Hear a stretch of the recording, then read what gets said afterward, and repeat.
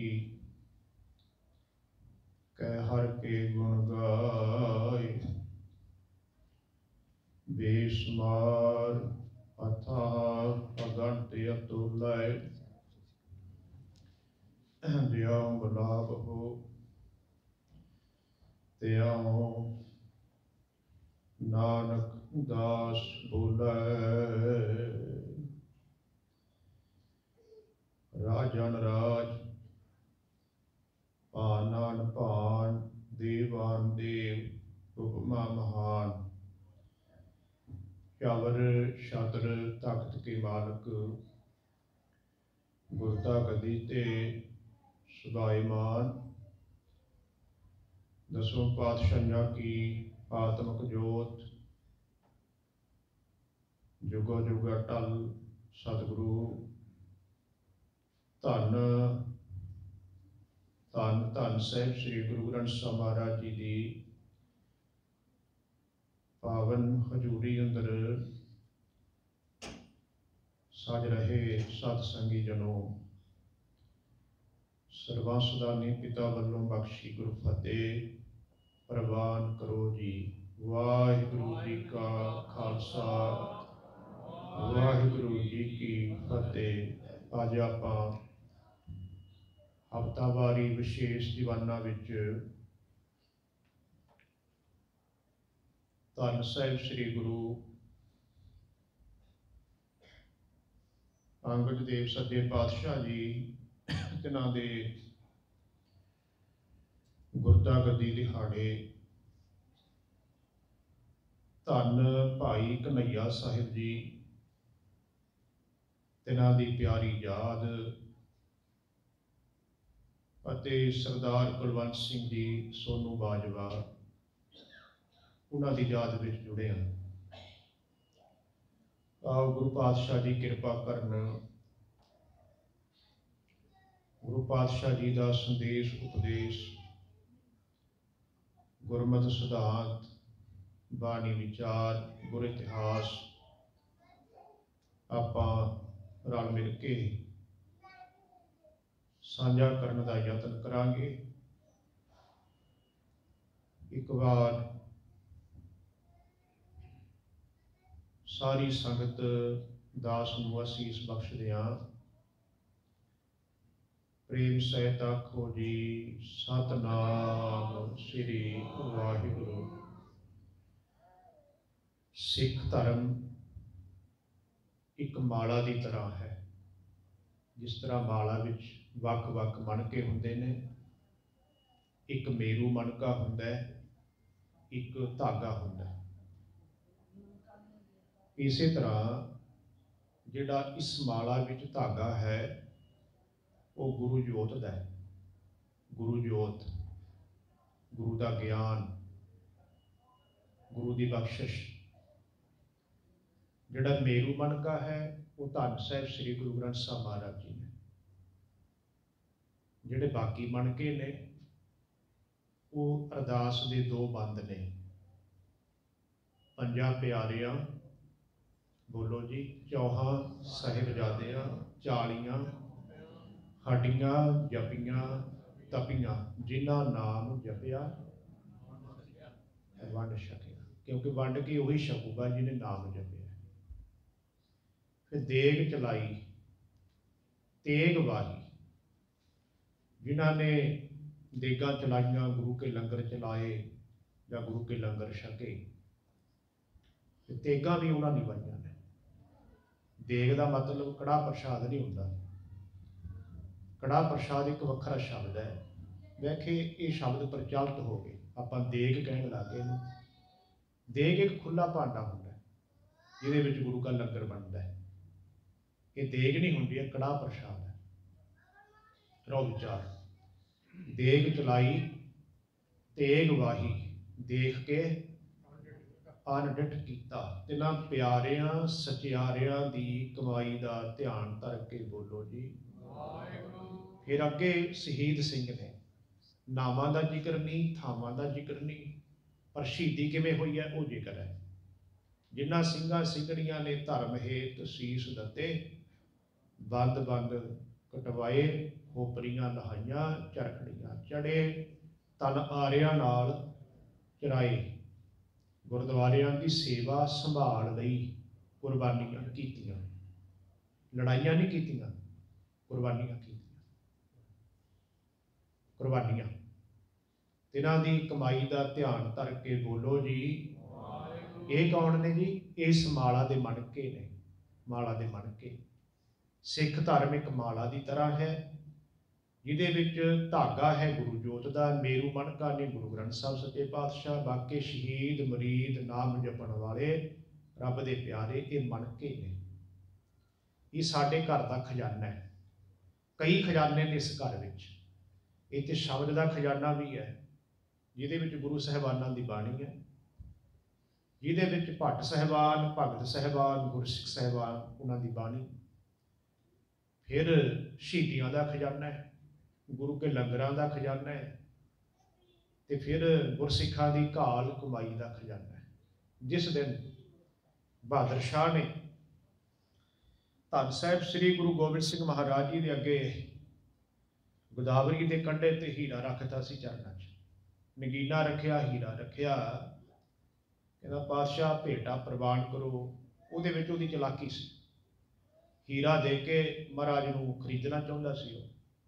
ਕਿਉਂਕਿ ਸੱਤੇ ਪਾਤਸ਼ਾਹ ਜੀ ਨੇ ਜਦੋਂ ਬਹਾਦਰ ਸ਼ਾਹ ਨੂੰ ਰਾਜ ਦਿਵਾਇਆ ਸੀ ਬਚਣ ਲਿਆ ਸੀ ਕਿ ਜਿਹੜੇ ਸਰਹੰਦੀ 17 ਬੰਦੇ ਮੋਹਤਬਰ ਬੈਠੇ ਸੀ, ਜਦੋਂ ਸਾਹਿਬਜ਼ਾਦਿਆਂ ਤੇ ਉਹਨਾਂ ਨੇ ਗੁਰੂ ਕੇ ਸਵਾਰੇ ਉਹ ਕਹਿਰ ਕੀਤਾ, ਉਹਨਾਂ ਦੀ ਸ਼ਹੀਦੀ ਹੋਈ ਹੈ ਇਹ ਨਾਲ ਸਮਿਲਤ ਸੀ। ਇਹਨਾਂ ਦਾ ਹਿਸਾਬ ਕਿਤਾਬ ਕਰਨਾ, ਤੇਰਾ ਫਰਜ਼ ਹੈ, ਤੂੰ ਰਾਜਾ ਹੈ। ਪਰ ਜਦੋਂ ਗੱਦੀ ਲੈਣੀ ਹੁੰਦੀ ਹੈ, ਰਾਜੇ ਹੋਰ ਹੁੰਦੇ ਨੇ, ਗੱਦੀਆਂ ਮਿਲ ਜਾਂਦੀਆਂ, ਰਾਜੇ ਬਦਲ ਜਾਂਦੇ ਨੇ। ਵੱਡੇ ਵੱਡੇ ਬਦਲ ਜਾਂਦੇ ਨੇ, ਦਾਤ ਪਿਆਰੀ, ਵਿਸਰਿਆ ਦਾ ਤਾਰਾ, ਉਹ ਬਦਲ ਗਿਆ, ਖਰੀਦਣਾ ਚਾਹੁੰਦਾ ਸੀ ਮਹਾਰਾਜ ਨੇ, ਹੀਰਾ ਵਗਾਤਾ ਗੋਦਾਵਰੀ ਚ, ਨਗੀਨਾ ਵਗਾਤਾ। ਕਹਿੰਦਾ, ਪਾਤਸ਼ਾਹ, ਇੰਨਾ ਕੀਮਤੀ ਹੀਰਾ, ਮੇਰਾ ਨਗੀਨਾ। ਪਾਤਸ਼ਾਹ ਕਹਿੰਦੇ, ਮੇਰੇ ਕੋਲ ਬਹੁਤ ਨੇ। ਮੇਰੇ ਕੋਲ ਬਹੁਤ ਨੇ ਇਹ? ਕਹਿੰਦਾ, ਜੀ, ਤੁਹਾਡੇ ਕੋਲ ਬਹੁਤ ਨੇ। ਪਾਤਸ਼ਾਹ ਕਹਿੰਦੇ, ਹਾਂ। ਕਿੱਥੇ ਨੇ? ਕਹਿੰਦੇ ਆ ਖੜੇ ਨੇ। ਸਿੱਖ ਖੜੇ ਸੀ।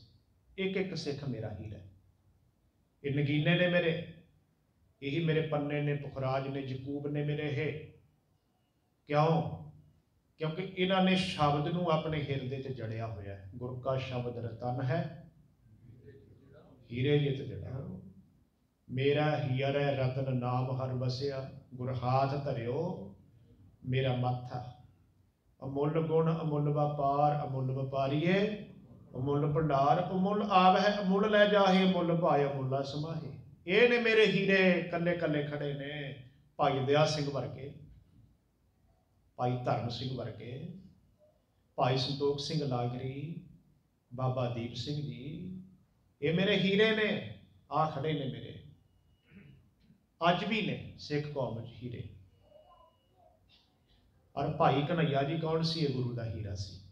ਜੋ ਮੈਂ ਇਹ ਉਥਾਨਕਾ ਵਿੱਚ, ਭੂਮਿਕਾ ਵਿੱਚ ਸ਼ਬਦ ਬੋਲ ਰਿਹਾ ਕਿ ਸਾਡੇ ਖਜ਼ਾਨੇ ਨੇ ਇਹ ਗੁਰੂ ਨਾਨਕ ਦੇ ਘਰ ਦੇ ਭਾਈ ਕਨਈਆ ਸਾਹਿਬ। ਕੇਵਲ ਹੀ ਨਹੀਂ ਕਿ ਸਿੱਖ ਗੁਰੂ ਦੇ ਚਰਨਾਂ ਦੀ ਧੂੜ ਮੰਗਦਾ ਹੈ, ਸਿੱਖ ਗੁਰੂ ਦੇ ਦਰਸ਼ਨ ਮੰਗਦਾ ਹੈ, ਸਿੱਖ ਗੁਰੂ ਦੀ ਸੇਵਾ ਮੰਗਦਾ ਹੈ, ਜਿਹੜਾ ਸਿੱਖ ਘਾਲ ਕਮਾਈ ਕਰ ਲਵੇ, ਗੁਰੂ ਦੇ ਦੱਸੇ ਰਾਹ ਤੇ ਤੁਰ ਪਵੇ, ਜਿੱਧਰੋਂ ਗੁਰੂ ਹਟਾ ਦਵੇ, ਹਟ ਜਾਏ, ਜਿੱਧਰ ਗੁਰੂ ਚਲਾ ਦਵੇ, ਚੱਲ ਪਵੇ। ਬਾਣੀ ਦਾ ਵਚਨ ਹੈ। ਭੂਲੇ ਮਾਰਗ, ਐਸਾ ਗੁਰ, ਸਿਮਰ ਮਨਾ, ਰਾਮ ਨਾਮ ਚਤਾਰੇ ਬਸ ਰਹਿ ਹਿਰਦੈ ਗੁਰ ਚਰਨ, ਕਾਮ ਕ੍ਰੋਧ ਲੋਭ ਮੋਹਿ ਮਨ ਲੀਨਾ, ਬੰਧਨ ਕਾਟ ਮੁਕਤ ਗੁਰ ਕੀਨਾ ਹੁਣ ਜਿਹੜਾ ਇਹ ਰਸਤੇ ਤੇ ਤੁਰ ਪਿਆ ਤੇ ਉਹ ਸਿੱਖ ਗੁਰੂ ਦਾ ਰੂਪ ਹੋ ਗਿਆ। ਸਿੱਖ ਤੇ ਗੁਰੂ ਇੱਕ ਹੋ ਗਏ। ਉੱਥੇ ਜਾ ਕੇ ਫਿਰ ਗੁਰੂ ਰਾਮਦਾਸ ਮਹਾਰਾਜ ਬਚਨ ਕਰਦੇ ਨੇ ਗੁਰਸਿੱਖੀ ਭਾਣਾ ਮੰਨਿਆ, ਗੁਰ ਪੂਰਾ ਪਾਰ ਲਗਾਏ ਗੁਰ ਕੀ ਹਰ ਧੂੜ ਦੇ। ਹਮ ਪਾਪੀ ਪੀਗਤ ਪਾਏ, ਹਮ ਪਾਪੀ ਪੀਗਤ ਪਾਏ, ਹਮ ਪਾਪੀ ਪੀਗਤ ਪਾਹੇ ਹਮ ਪਾਪੀ ਪੀਗਤ ਪਾਹੇ ਹਮ ਪਾਪੀ ਪੀਗਤ ਪਾਹੇ ਹਮ ਪਾਪੀ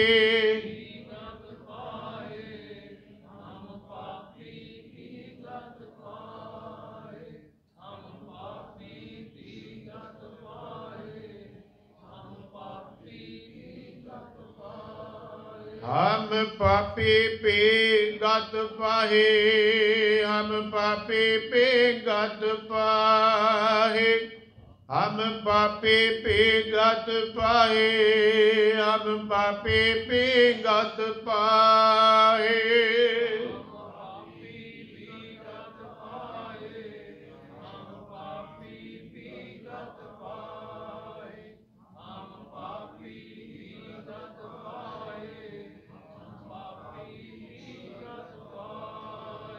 ਗੁਰ ਸਿੱਖਾ ਕੀ ਹਰ ਤੋੜ ਦੇ ਗੁਰ ਸਿੱਖਾ ਕੀ ਹਰ ਤੋੜ ਦੇ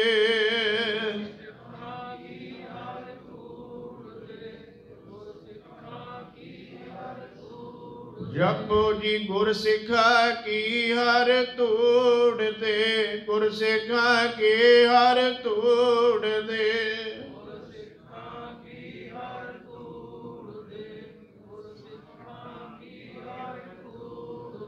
ਹਮ ਪਾਪੀ ਪੀਗਤ ਪਾਏ, ਹਮ ਪਾਪੀ ਪੀਗਤ ਪਾਏ।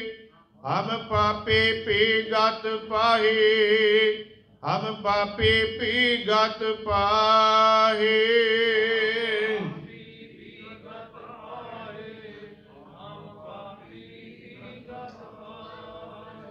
ਹਮ ਪਾਪੀ ਪੀ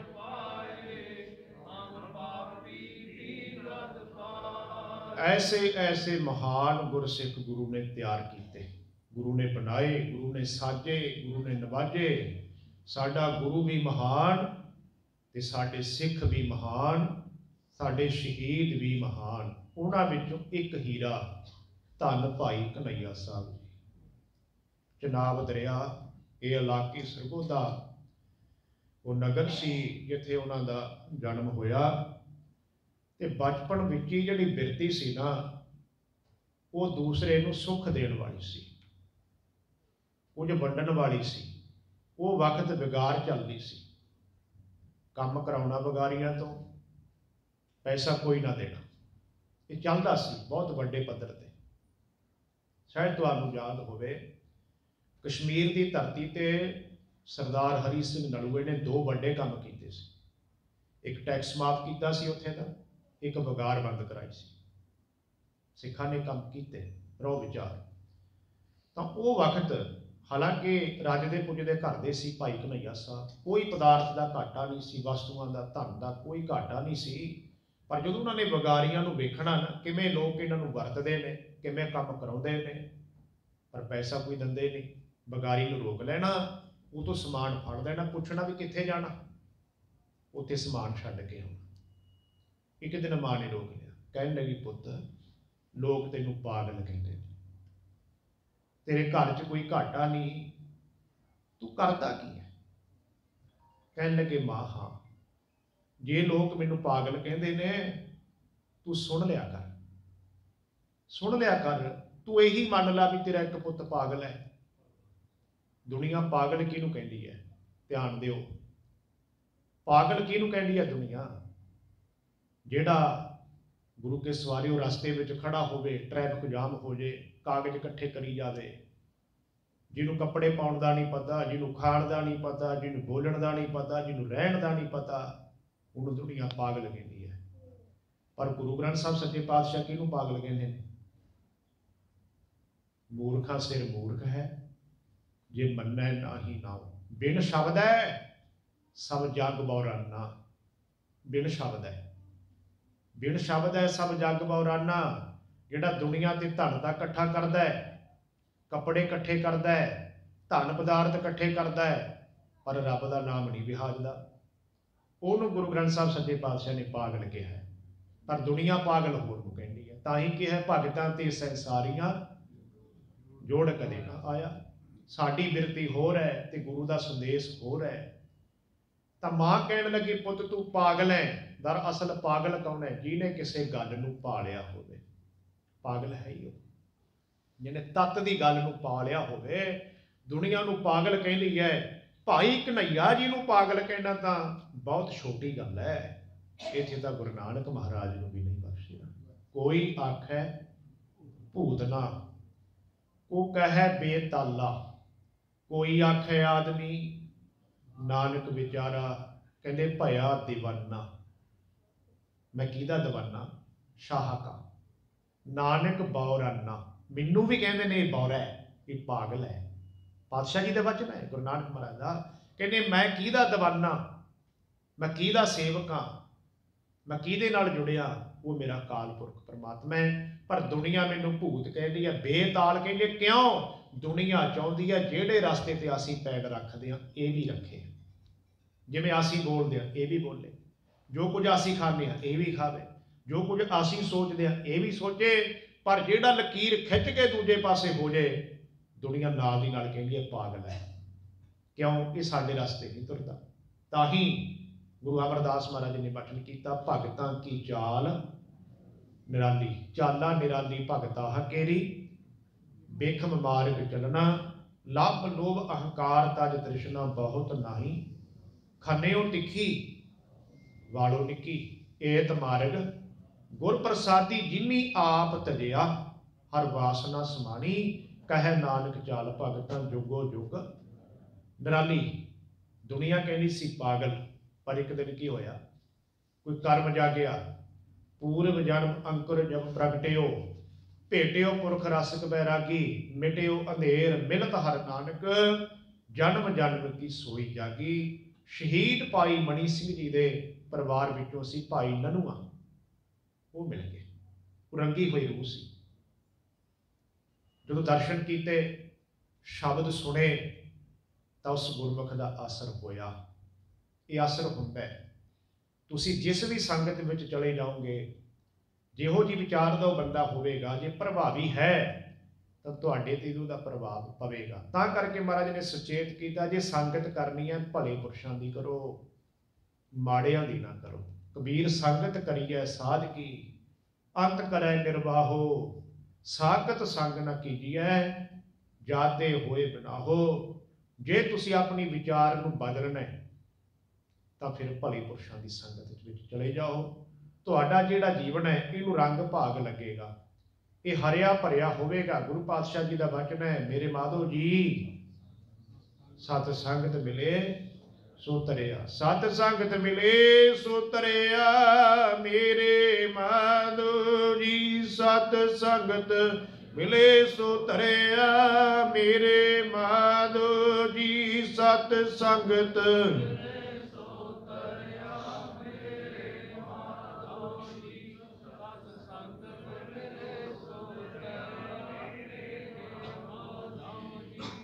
ਮਿਲ ਕੇ ਮਿਲ ਕੇ ਸਾਰੇ ਇੱਕ ਆਵਾਜ਼ ਵਿੱਚ ਬੋਲਿਓ।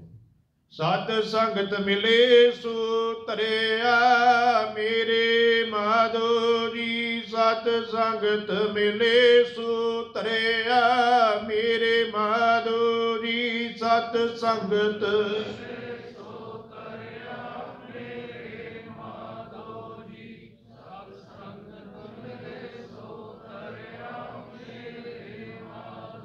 ਗੁਰ ਪ੍ਰਸਾਦ ਪਰਮ ਪਦ ਪਾਇਆ, ਗੁਰ ਪ੍ਰਸਾਦ ਪਰਮ ਪਦ ਪਾਇਆ।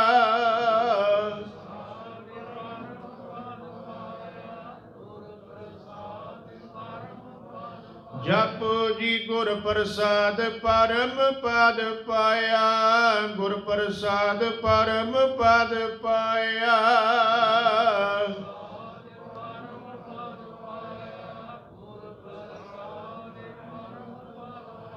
ਵਾਹਿਗੁਰੂ ਵਾਹਿਗੁਰੂ ਵਾਹਿਗੁਰੂ ਵਾਹਿਗੁਰੂ।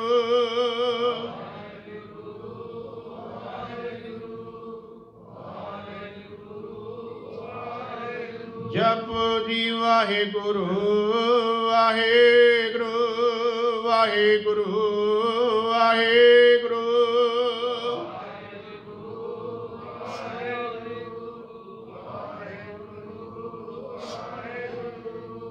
ਵਾਹਿਗੁਰੂ ਵਾਹਿਗੁਰੂ ਵਾਹਿਗੁਰੂ ਵਾਹਿਗੁਰੂ।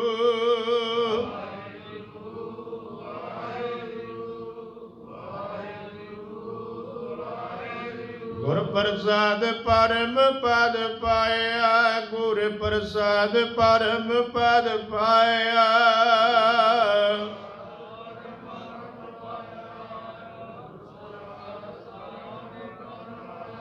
ਸੂਕੇ ਕਾਸਟ ਹਰਿਆ ਮੇਰੇ ਮਾਧੋ ਜੀ, ਸਤ ਸੰਗਤ ਮਿਲੇ ਸੁਤਰਿਆ ਮੇਰੇ ਮਾਧੋ ਜੀ, ਸਤ ਸੰਗਤ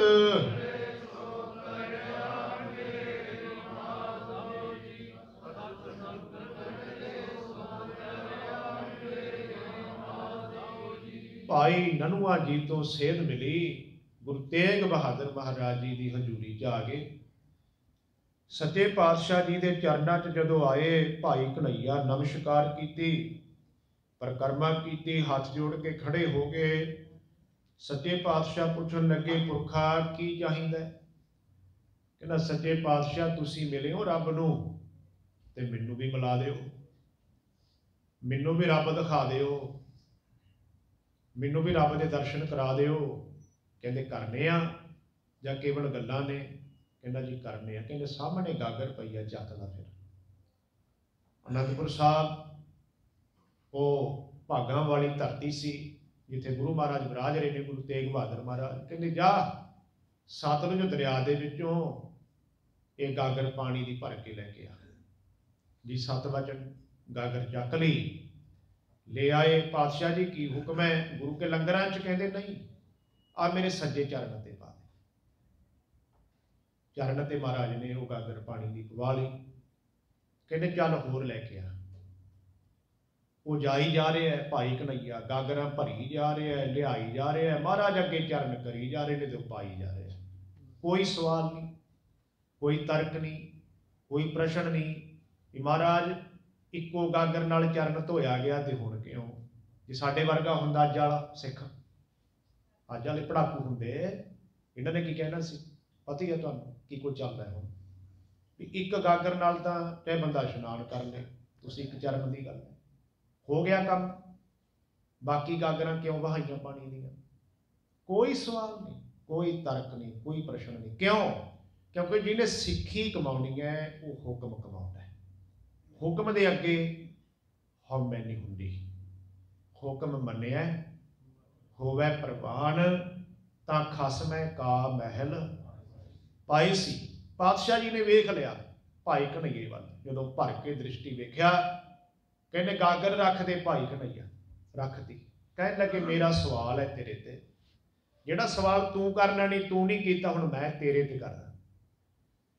ਮੇਰਾ ਇਹ ਚਰਨ ਇੱਕ ਗਾਗਰ ਨਾਲ ਧੋਇਆ ਗਿਆ ਸੀ, ਬਾਕੀ ਗਾਗਰਾਂ ਕਿਉਂ ਲੈ ਕੇ ਆਇਆ? ਗੁਰੂ ਪੁੱਛ ਰਿਹਾ ਹੁਣ ਸਿੱਖ ਨੂੰ। ਤੇ ਸਿੱਖ ਕੀ ਕਹਿੰਦਾ? ਦੇਖੋ ਬਿਰਤੀ, ਵਸਤਾ, ਜਵਾਬ ਕੀ ਸੀ? ਕਹਿੰਦਾ ਮਹਾਰਾਜ, ਸਤਲੁਜ ਦਰਿਆ ਵੀ ਤੁਹਾਡਾ। ਸਤਲੁਜ ਦਰਿਆ ਤੁਹਾਡਾ। ਮਤਲਬ ਗੁਰੂ ਵਿੱਚ ਰੱਬ ਵੇਖ ਰਿਹਾ ਉਹ ਗੁਰੂ ਵਿੱਚ ਤੇ ਰੱਬ ਵਿੱਚ ਕੋਈ ਫ਼ਰਕ ਨਹੀਂ ਸਮਝ ਰਿਹਾ। ਤੇ ਅੱਜ ਵਾਲੇ ਵਿਦਵਾਨ ਕੀ ਕਹਿੰਦੇ ਨੇ? ਵੀ ਗੁਰੂ ਸਾਡੇ ਵਰਗਾ ਬੰਦਾ ਹੈ। ਬਸ ਆ ਹੈ ਇਹਨੂੰ ਥੋੜਾ ਜਿਹਾ ਗਿਆਨ ਜ਼ਿਆਦਾ ਸੀ ਸਾਡੇ ਨਾਲ। ਮਾਫ ਕਰਨਾ। ਮੇਰੀ ਜੀਬ ਇਜਾਜ਼ਤ ਨਹੀਂ ਦਿੰਦੀ। ਮੈਂ ਇੱਧਰ ਨੂੰ ਤੁਰਾਂ ਕਿ ਉਹ ਲੋਕ ਸਿੱਖੀ ਕਮਾ ਲੈਣਗੇ। ਜਿਨ੍ਹਾਂ ਦੀ ਯਾਦ ਵਿੱਚ ਅੱਜ ਆਪਾਂ ਜੁੜੇ ਆ ਉਹਨਾਂ ਦੀ ਅਵਸਥਾ ਕੀ ਹੈ? ਪ੍ਰਾਤਨ ਸਿੱਖਾਂ ਦੇ ਕੱਲੇ ਕੱਲੇ ਦਾ ਜੀਵਨ ਚੁੱਕੋ ਤੁਸੀਂ ਪੜੋ ਤੇ ਪੜ ਕੇ ਫਿਰ ਗੱਲ ਕਰੋ। ਉਹ ਕੀ ਕਹਿ ਰਹੇ ਨੇ ਸੱਜੇ ਪਾਤਸ਼ਾਹ ਸਤਲੁਜ ਦਰਿਆ ਵਿੱਚ ਜਿੰਨਾ ਪਾਣੀ ਵਗਦਾ ਇਹ ਵੀ ਤੁਹਾਡਾ, ਤੁਹਾਡੇ ਹੁਕਮ ਵਿੱਚ ਚੱਲ ਰਿਹਾ। ਗਾਗਰ ਵੀ ਤੁਹਾਡੀ, ਭਾਈ ਕਨਈਆ ਵੀ ਤੁਹਾਡਾ ਤੇ ਹੁਕਮ ਵੀ ਤੁਹਾਡਾ। ਜੇ ਤੁਸੀਂ ਹੁਕਮ ਕਰ ਰਹੇ ਹੋ, ਤੇਰਾ ਸਿੱਖ ਤੇਰੇ ਅੱਗੇ ਖੜਾ ਹੈ, ਤੁਹਾਡਾ ਬਚਨ ਹੈ ਵੀ ਗਾਗਰ ਭਰ ਕੇ ਪਾਣੀ ਦੀ ਪਾਈ ਜਾ। ਫਿਰ ਮਹਾਰਾਜ, ਮੈਂ ਇਹ ਨਹੀਂ ਕਹੂੰਗਾ ਕਿ ਪਾਣੀ ਵਿਅਰਥ ਗਿਆ। ਮੈਂ ਇਹ ਕਹੂੰਗਾ, ਦਰਿਆ ਵਿੱਚ ਪਾਣੀ ਤਾਂ ਬਹੁਤ ਸੀ, ਪਰ ਸਫਲ ਉਹ ਹੋਇਆ ਜਿਹੜਾ ਗੁਰੂ ਦੇ ਚਰਨਾਂ ਤੇ ਪੈ ਗਿਆ। ਬਿਰਤੀ ਬਿਰਤੀ। ਪਿਛਲੇ ਦਿਨੀ ਦੇਖੋ, ਤੁਹਾਡੇ ਵਿੱਚੋਂ ਕਿਹੜੀ ਸੋਚ ਵਾਲਾ ਬੈਠਾ ਹੋਵੇ, ਮੈਨੂੰ ਨਹੀਂ ਪਤਾ। ਪਰ ਇਸ ਸੰਦਰਭ ਵਿੱਚ ਪਿਛਲੇ ਦਿਨੀ ਗੁਰੂ ਰਾਮਦਾਸ ਅੱਗੇ ਪਾਤਸ਼ਾਹ ਜੀ ਦਾ ਗੁਰਤਾ ਗੱਦੀ ਦਿਹਾੜਾ ਲੰਘ ਕੇ ਗਿਆ। ਦਰਬਾਰ ਸਾਹਿਬ। ਲਗਭਗ 2-3 ਕਰੋੜ ਦੇ ਫੁੱਲ ਆਏ ਉੱਥੇ। ਬੜਾ ਜੀ ਮੀਡੀਆ ਨੇ ਚੱਕਿਆ ਸੋਸ਼ਲ ਮੀਡੀਆ ਤੇ। ਲੋ ਜੀ 3 ਕਰੋੜ ਦੇ ਫੁੱਲ ਕਿੱਧਰ ਲੱਗੇ ਕਿਤੇ ਹੋਰ ਪਾਸੇ ਪੈਸਾ ਲਾ ਲਓ, ਐਂ ਕਰ ਲਓ, ਉਹ ਕਰ ਲਓ। ਇੱਧਰ ਭਾਈ ਕਢਾਈਆ ਕੀ ਕਹਿ ਰਿਹਾ? ਕਹਿੰਦਾ, ਮਹਾਰਾਜ, ਉਹ ਪਾਣੀ ਸਫਲ ਹੋ ਗਿਆ, ਸਖਾਰਤ ਹੋ ਗਿਆ, ਜਿਹੜਾ ਤੇਰੇ ਚਰਨਾਂ ਨਾਲ ਜੁੜ ਗਿਆ। ਸੋਚ ਹੈ ਨਾ ਆਪੋ ਆਪਣੀ ਫੁੱਲ ਤਾਂ ਕੀ ਸਿੱਖ ਤਾਂ ਉਹ ਹੈ ਜਿਹੜਾ ਗੁਰੂ ਦੇ ਅੱਗੇ ਸਿਰ ਵੀ ਰੱਖਦਾ। ਜਿਹੜਾ ਫੁੱਲਾਂ ਦੀ ਗੱਲ ਥੋੜਾ ਇੱਥੇ। ਜੋ ਤੋ ਪ੍ਰੇਮ, ਖੇਲਣ ਕਾ ਜਾਓ, ਸਿਰ ਧਰ ਤਲੀ, ਇੱਕ ਹੋਰ ਭੁਲੇਖਾ ਕੱਢ ਲਿਓ। ਫਿਰ ਉਹ ਕਹਿਣਗੇ ਜੀ, ਦੇਖੋ ਮਹਾਰਾਜ ਨੇ ਤਾਂ ਖੰਡਨ ਕੀਤਾ ਹੈ। ਪਾਤੀ ਤੋਰੈ ਮਾਲਣੀ, ਪਾਤੀ ਪਾਤੀ ਜੀਓ ਜਿਸ ਕਾਰਨ ਤੂੰ ਪਾਤੀ ਤੋਰੈ ਸੋ। ਬੋਲੋ ਜੀ, ਪਾਹਣ ਨਿਰਜੀਓ ਪਾਹਣ ਪੱਥਰ, ਉਹਦੇ ਵਿੱਚ ਜਿੰਦ ਨਹੀਂ। ਇਹ ਬਾਣੀ ਦਾ ਬਚਨ ਹੈ, ਕਿਉਂਕਿ ਕਿਸੇ ਨੂੰ ਭੁਲੇਖਾ ਨਾ ਰਹੇ, ਕੋਈ ਇੱਥੋਂ ਗਲਤ ਮੈਸੇਜ ਲੈ ਜੇ ਦੋਏ ਪੱਖ ਲੈ ਕੇ ਚੱਲੇ ਹੁਣ ਇਹ ਜਿਹੜਾ ਬਾਣੀ ਦਾ ਸ਼ਬਦ ਹੈ ਨਾ, ਕਿਹੜੇ ਸੰਦਰਭ ਵਿੱਚ ਹੈ ਜੀ? ਵੀ ਪੱਥਰ ਤੇ ਫੁੱਲ ਭੇਟਾ ਕਰ ਰਹੇ ਹੋ। ਪੱਥਰ ਕੀ ਹੈ? ਨਿਰਜਿੰਦ। ਤੇ ਗੁਰੂ ਗ੍ਰੰਥ ਸਾਹਿਬ ਨਿਰਜਿੰਦ ਨਹੀਂ ਹੈਗੇ। ਇਹ ਜਿੰਦ ਦੇਣ ਵਾਲੇ ਨੇ। ਗੁਰੂ ਜਿੰਦ ਦੇਣ ਵਾਲਾ ਹੈ। ਗੁਰੂ ਨਿਰਜਿੰਦ ਨਹੀਂ ਆ। ਗੁਰੂ ਜੀਵਨ ਦਿੰਦਾ ਹੈ। ਉਥੇ ਪੱਥਰ ਦੀ ਗੱਲ ਹੈ ਵੀ ਪੱਥਰ ਤੇ ਫੁੱਲ ਕਿਉਂ ਚੜਾ ਰਹੇ ਹੋ? ਨਿਰਜਿੰਦ ਹੈ। ਪਰ ਇਹ ਜਿੰਦ ਵਾਲਾ ਹੈ। ਇਹ ਭਾਗਣਾ ਹੈ। ਇਹ ਸ਼ਰਧਾ ਹੈ, ਕਿਸੇ ਦਾ ਵਿਸ਼ਵਾਸ ਹੈ, ਭਰੋਸਾ ਹੈ ਰੋ ਵਿਚਾਰ। ਪਾਤਸ਼ਾਹ ਦਰਿਆ ਤੁਹਾਡਾ, ਗਾਗਰ ਤੁਹਾਡੀ ਕਨਈਆ ਤੁਹਾਡਾ, ਹੁਕਮ ਤੁਹਾਡਾ ਕਿ ਤੁਸੀਂ ਜੋ ਹੁਕਮ ਕੀਤਾ, ਮੈਂ ਕਰ ਲਿਆ। ਪਾਤਸ਼ਾਹ ਕਹਿਣ ਲੱਗੇ, ਭਾਈ ਕਨਈਆ ਜੀ, ਤੂੰ ਧੁੱਪ ਗਿਆ। ਕੇਵਲ ਮੇਰਾ ਚਰਨ ਨਹੀਂ ਧੁੱਪਿਆ। ਇਹ ਜਿਵੇਂ ਜਿਵੇਂ ਤੂੰ ਗਾਗਰ ਲਿਆਈ ਗਿਆ, ਤੂੰ ਧੁੱਪਦਾ ਗਿਆ, ਸਾਫ਼ ਹੁੰਦਾ ਗਿਆ, ਸ਼ੁੱਧ ਹੁੰਦਾ ਗਿਆ, ਤੂੰ ਕੱਲਾ ਮੈਨੂੰ ਤਨ ਨਹੀਂ ਦਿੱਤਾ, ਤੂੰ ਮੈਨੂੰ ਮਨ ਵੀ ਦਿੱਤਾ। ਇਹ ਤਿੰਨ ਚੀਜ਼ਾਂ ਨੇ। ਜਿੰਨੀ ਦੇਰ ਤੱਕ ਆਪਾਂ ਗੁਰੂ ਨੂੰ ਨਹੀਂ ਦਿੰਦੇ, ਕੋਈ ਸਿੱਖੀ ਵਿੱਚ ਸਫਲ ਨਹੀਂ ਹੋ ਸਕਦਾ। ਤਨ, ਮਨ, ਧਨ, ਸਭ ਸੌਂਪ ਗੁਰ ਕੋ ਹੁਕਮ ਮੰਨਿਆ ਭਾਈਆ ਪਰ ਤਿੰਨ ਤਰ੍ਹਾਂ ਦੇ ਲੋਕ ਨੇ, ਉਹ ਗੁਰੂ ਨੂੰ ਨਾ ਤਾਂ ਤਨ ਦੇ ਸਕਦੇ ਨੇ, ਨਾ ਮਨ ਦੇ ਸਕਦੇ ਨੇ, ਨਾ ਧਨ ਦੇ ਸਕਦੇ ਨੇ। ਪਹਿਲਾ ਹੈ ਜੀ ਆਲਸੀ ਬੰਦਾ। ਆਲਸੀ। ਉਹ ਗੁਰੂ ਨੂੰ ਤਨ ਨਹੀਂ ਦੇ ਸਕਦਾ। ਮੇਰੇ ਕਹਿਣ ਤੋਂ ਭਾਵ ਟਾਈਮ ਵੀ ਹੁੰਦਾ ਹੈ। ਮਤਲਬ ਕੋਈ ਰਾਤ ਦੀ ਜੌਬ ਨਹੀਂ ਹੈਗੀ ਉਹਨਾਂ ਦੀ। ਟਾਈਮ ਹੈਗਾ। ਉਹ ਅੰਮ੍ਰਿਤ ਵੇਲੇ ਉੱਠ ਹੀ ਨਹੀਂ ਸਕਦਾ। ਉਹ ਗੁਰੂ ਘਰ ਆ ਹੀ ਨਹੀਂ ਸਕਦਾ। ਉਹ ਗੁਰੂ ਦੇ ਚਰਨਾਂ ਦੀ ਸੇਵਾ ਕਰ ਹੀ ਨਹੀਂ ਸਕਦਾ। ਪਿਆ ਹੈ। ਆਲਸ ਆ ਗਈ। ਆਲਸ ਨੇ ਦੱਬ ਲਿਆ ਬੰਦਾ। ਸਾਰੋ ਦਿਨ ਸਮਜੂਰੀ ਕਰੈ। ਹਰ ਸਿਮਰਨ ਕੀ ਵੇਲਾ। ਬੱਜਰ ਸਿਰ ਪਰੈ ਭਾਈ ਕਾਨ ਸਿੰਘ ਨਾਭਾ ਨੇ ਨਾ, ਜਿੱਥੇ ਪਾਪਾਂ ਦੀ ਲਿਸਟ ਦਿੱਤੀ ਹੈ, ਪਾਪ ਬੰਦੇ ਦੇ। ਉਹਦੇ ਵਿੱਚੋਂ ਇੱਕ ਪਾਪ ਮੰਨਿਆ ਆਲਸ। ਆਲਸ ਵੀ ਬਹੁਤ ਵੱਡਾ ਪਾਪ ਹੈ। ਕਹਿੰਦੇ ਇੱਕ ਵਾਰੀ ਨਾ, ਜੋੜਾ ਸੀ, ਪਤੀ ਤੇ ਪਤਨੀ ਦਾ। ਹੈ ਤਾਂ ਹਾਸ ਰਸ ਦੀ ਗੱਲ, ਪਰ ਸਿੱਖਿਆ ਬਹੁਤ ਵੱਡੀ ਹੈ। ਪੁਰਾਣੇ ਸਮੇਂ ਸੀ, ਘਰ ਦੇ ਵਿੱਚ ਦੀਵਾ ਜਗਣਾ ਤੇ ਬਾਰੀ ਬੰਨੀ ਹੋਈ ਸੀ ਦੀਵਾ ਬੁਝਾਉਣ ਦੀ। ਇੱਕ ਦਿਨ ਪਤੀ ਬੁਝਾਉਂਦਾ ਸੀ, ਇੱਕ ਦਿਨ ਪਤਨੀ ਬੁਝਾਉਂਦੀ ਸੀ। ਤੇ ਹੁਣ ਪਤੀ ਵੀ ਆਲਸੀ, ਸਿਰੇ ਦਾ ਤੇ ਪਤਨੀ ਵੀ। ਰੱਬ ਨੇ ਜੋੜੀ ਇਸ ਤਰ੍ਹਾਂ ਦੀ ਰਲਾਤੀ। ਤੇ ਪਤੀ ਬਿਸਤਰੇ 'ਚ ਪਿਆ ਪਿਆ ਕਹਿ ਰਿਹਾ ਹੈ ਕਹਿੰਦਾ ਇਹ ਪਹਾੜਾਂ ਵਾਲੀ ਦੇਵੀ, ਜੇ ਅੱਜ ਤੂੰ ਮੇਰਾ ਦੀਵਾ ਬੁਝਾ ਦੇ ਨਾ, ਮੈਂ ਤੇਰੇ ਤੇ ਆਉਂਗਾ ਪ੍ਰਸ਼ਾਦ ਕਰਾਉਂਗੀ ਤੇ ਪਤਨੀ ਸੁਣੀ ਜਾ ਰਹੀ ਹੈ ਗੱਲਾਂ ਦੀਆਂ ਐਲਾਂ ਨੂੰ ਕੀ ਹੋਇਆ? ਹਵਾ ਦਾ ਬੁੱਲ ਆਇਆ, ਤਾਕੀ ਖੁੱਲੀ ਸੀ ਤੇ ਦੀਵਾ ਬੁਝ ਗਿਆ। ਪਤਨੀ ਕਹਿੰਦੀ, ਲੈ ਤਾਂ ਉਦੋਂ ਵੱਡੀ ਵਿਪਤਾ ਪੈ ਗਈ ਤੇਰੇ ਤੇ। ਤੂੰ ਉੱਠ ਕੇ ਬਿਸਤਰੇ ਤੋਂ ਦੀਵਾ ਨਹੀਂ ਬੁਝਾ ਸਕਿਆ, ਪਹਾੜ ਕਿਵੇਂ ਚੜੇਗਾ ਉਹ ਕਹਿੰਦੇ ਕਿ ਤੂੰ ਤਾਂ ਕਮਲੀ ਹੈ।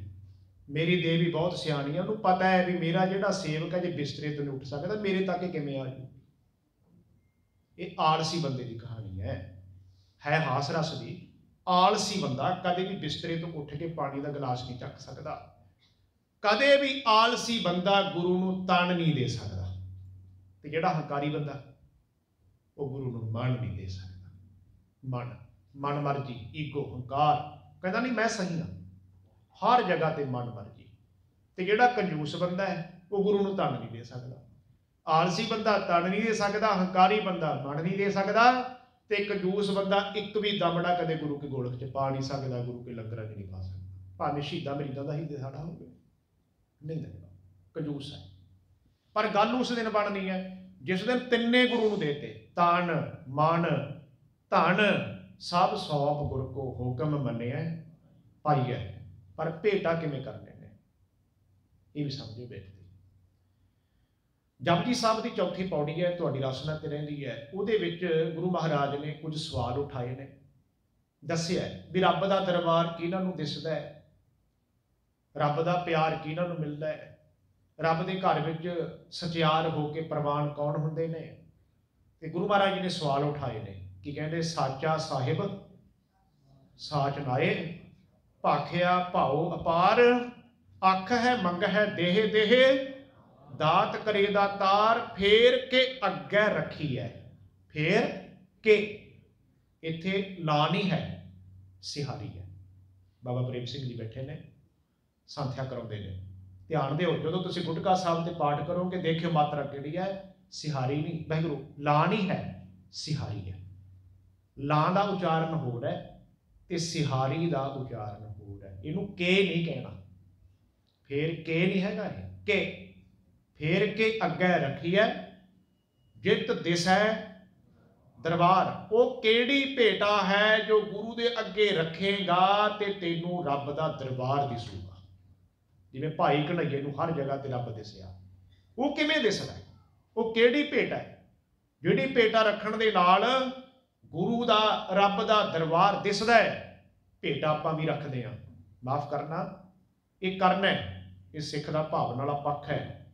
ਆਪਾਂ ਗੁਰੂ ਦੇ ਅੱਗੇ ਰਮਾਲਾ ਸਾਹਿਬ ਰੱਖਦੇ ਹਾਂ, ਦਾਲਾਂ ਲੈ ਕੇ ਆਉਨੇ ਆ ਦੁੱਧ ਲੈ ਕੇ ਆਉਨੇ ਆ ਵਸਤਰ ਲੈ ਕੇ ਆਉਨੇ ਤੇ ਲਿਆਉਣੇ ਵੀ ਚਾਹੀਦੇ ਨੇ, ਕੋਈ ਦੋ ਰਾਵਾਂ ਨਹੀਂ।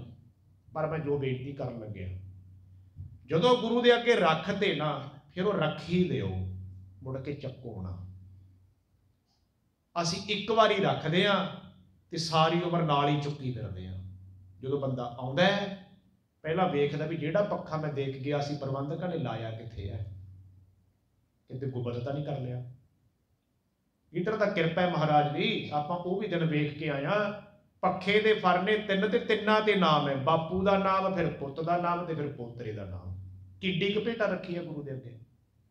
ਤੇ ਜਤਾ ਕੀ ਰਿਹਾ ਤੂੰ? ਫੇਰ ਕੇ ਅੱਗੇ ਰੱਖੀ ਹੈ। ਜਿਤ ਦਿਸੈ ਦਰਬਾਰ। ਛੋਟੀ ਜੀ ਬੇਨਤੀ ਕਰਕੇ ਮੈਂ ਅੱਗੇ ਤੁਰਾਂ ਜਿਸ ਦਿਨ ਪੀਰ ਬੁੱਧੂ ਸ਼ਾਹ ਦੇ ਦੋ ਪੁੱਤ ਸ਼ਹੀਦ ਹੋ ਗਏ ਸੀ ਨਾ, ਸੰਧਿਆ ਦਾ ਸਮਾਂ ਸੀ। ਗੁਰੂ ਗੋਬਿੰਦ ਸਿੰਘ ਸੱਚੇ ਪਾਤਸ਼ਾਹ ਜੀ ਉਹ ਆਪਣੇ ਕੇਸਾਂ ਦੇ ਵਿੱਚ ਕੰਗਾ ਕਰ ਰਹੇ ਨੇ, ਕਿਉਂਕਿ ਸਿੱਖ ਨੂੰ ਬਚਣਾ ਹੈ। ਕੰਗਾ ਦੋਏ ਵਕਤ ਕਰ ਪਾਂਗ ਚੁਣੇ ਕਰ ਬੰਦੀ ਦੋ ਵਕਤ ਸਿੱਖ ਨੇ ਕੰਗਾ ਕਰਨਾ ਤੇ ਜਿਹੜੀ ਦਸਤਾਰ ਹੈ ਇੱਕ ਇੱਕ ਲੜ ਕਰਕੇ ਸਜਾਉਣੀ ਹੈ ਇੱਕ ਇੱਕ ਲੜ ਕਰਕੇ ਇਹ ਵਧਾਉਣੀ ਹੈ। ਟੋਪੀ ਦੀ ਤਰ੍ਹਾਂ ਨਾਲ ਲਾਉਣੀ ਹੈ, ਟੋਪੀ ਦੀ ਤਰ੍ਹਾਂ ਨਾਲ ਰੱਖਣੀ ਹੈ। ਇਹ ਰਹਿਤਨਾਮਿਆਂ ਦਾ ਵਚਨ ਹੈ। ਤਾਂ ਸੱਚੇ ਪਾਤਸ਼ਾਹ ਜੀ ਕੇਸਾਂ ਵਿੱਚ ਕੰਗਾ ਕਰ ਰਹੇ ਨੇ। ਦਰਬਾਨ ਜੀ ਸਿੰਘ ਨੇ ਆ ਕੇ ਪਾਤਸ਼ਾਹ ਜੀ ਪੀਰ ਬੁੱਧੂ ਸ਼ਾਹ ਹੈ। ਕਹਿੰਦੇ ਬੁਲਾਓ ਅੰਦਰ। ਹਾਲਾਂਕਿ ਇਹ ਵਕਤ ਬਹੁਤ ਘੱਟ ਹੋਏ ਨੇ। ਜਦੋਂ ਗੁਰੂ ਗੋਬਿੰਦ ਸਿੰਘ ਸੱਚੇ ਪਾਤਸ਼ਾਹ ਜੀ ਦੇ ਕੇਸ ਸਿੱਖਾਂ ਦੇ ਵੇਖੇ ਹੋਣ। ਕਿਉਂਕਿ ਗੁਰੂ ਮਹਾਰਾਜ ਢੱਕ ਕੇ ਰੱਖਦੇ ਸੀ। ਬੜਾ ਸਤਿਕਾਰ ਸੀ ਕੇਸਾਂ ਦਾ। ਕਹਿੰਦੇ, ਲਿਆਓ ਅੰਦਰ। ਆ ਗਏ, ਪੀਰ ਜੀ ਖੜੇ ਨੇ। ਪਾਤਸ਼ਾਹ ਕਹਿੰਦੇ ਕਿ ਪੀਰ ਜੀ, ਦਰਬਾਰ ਤਾਂ ਕੱਲ ਨੂੰ ਵੀ ਲੱਗਣਾ ਸੀ। ਇਹ ਵਕਤ ਕਿਉਂ ਆਇਓ? ਕਹਿੰਦਾ, ਜੀ, ਮੇਰਾ ਕੰਮੀ ਇਹ ਵਕਤ ਹੈ। ਜਿਹੜੀ ਮੈਂ ਲਾਲਸਾ ਲੈ ਕੇ ਆਇਆ ਨਾ, ਉਹ ਹੁਣੀ ਪੂਰੀ ਹੋਣੀ ਪਾਤਸ਼ਾਹ ਕਹਿੰਦੇ ਕਿ ਕਿਹੜੀ? ਕਹਿੰਦਾ, ਜੀ, ਭੰਗਾਣੀ ਦੇ ਯੁੱਧ ਵਿੱਚ ਤੇਰੀ ਕਿਰਪਾ ਹੋ ਗਈ ਮੇਰੇ ਤੇ। ਤੁਸੀਂ ਮੈਨੂੰ ਚਾਰ ਪੁੱਤ ਬਖਸ਼ੇ ਸੀ, ਦੋ ਧਰਮ ਦੇ ਲੇਖੇ ਲਾਗੇ। ਦੋ ਸ਼ਹੀਦ ਹੋ ਗਏ ਮਹਾਰਾਜ। ਕਹਿੰਦੇ, ਫਿਰ ਕੀ ਚਾਹਣਾ ਤੂੰ? ਕਹਿੰਦਾ, ਜੀ, ਮੈਂ ਚਾਹਣਾ ਵੀ ਮੇਰੇ ਪੁੱਤ ਮੈਨੂੰ ਯਾਦ ਨਾ ਆਉਣ। ਮੇਰੇ ਪੁੱਤ ਮੈਨੂੰ ਯਾਦ ਨਾ ਆਉਣ। ਉਹਨਾਂ ਦੀ ਯਾਦ ਮੈਨੂੰ ਤੰਗ ਨਾ ਕਰੇ। ਮੋਹ ਦੀਆਂ ਤੰਦਾਂ ਮੇਰੇ ਤੇ ਨਾ ਪੈਣ। ਕਹਿੰਦੇ, ਫਿਰ ਕੀ ਚਾਹਣਾ? ਕਹਿੰਦਾ, ਮੈਨੂੰ ਦੋ ਚੀਜ਼ਾਂ ਦੇ ਦਿਓ ਕੰਗਾ ਦੇ ਦਿਓ ਕੇਸ ਦੇ ਦਿਓ ਇਹ ਦੋ ਚੀਜ਼ਾਂ ਮੈਂ ਸੰਭਾਲ ਕੇ ਰੱਖੂੰਗਾ। ਮੈਂ ਕਦੇ ਆਪਣੇ ਪੁੱਤਾਂ ਨੂੰ ਯਾਦ ਨਹੀਂ ਕਰੂੰਗਾ ਵੀ ਮੈਂ ਆਪਣੇ ਪੁੱਤ ਸ਼ਹੀਦ ਕਰਾ ਕੇ।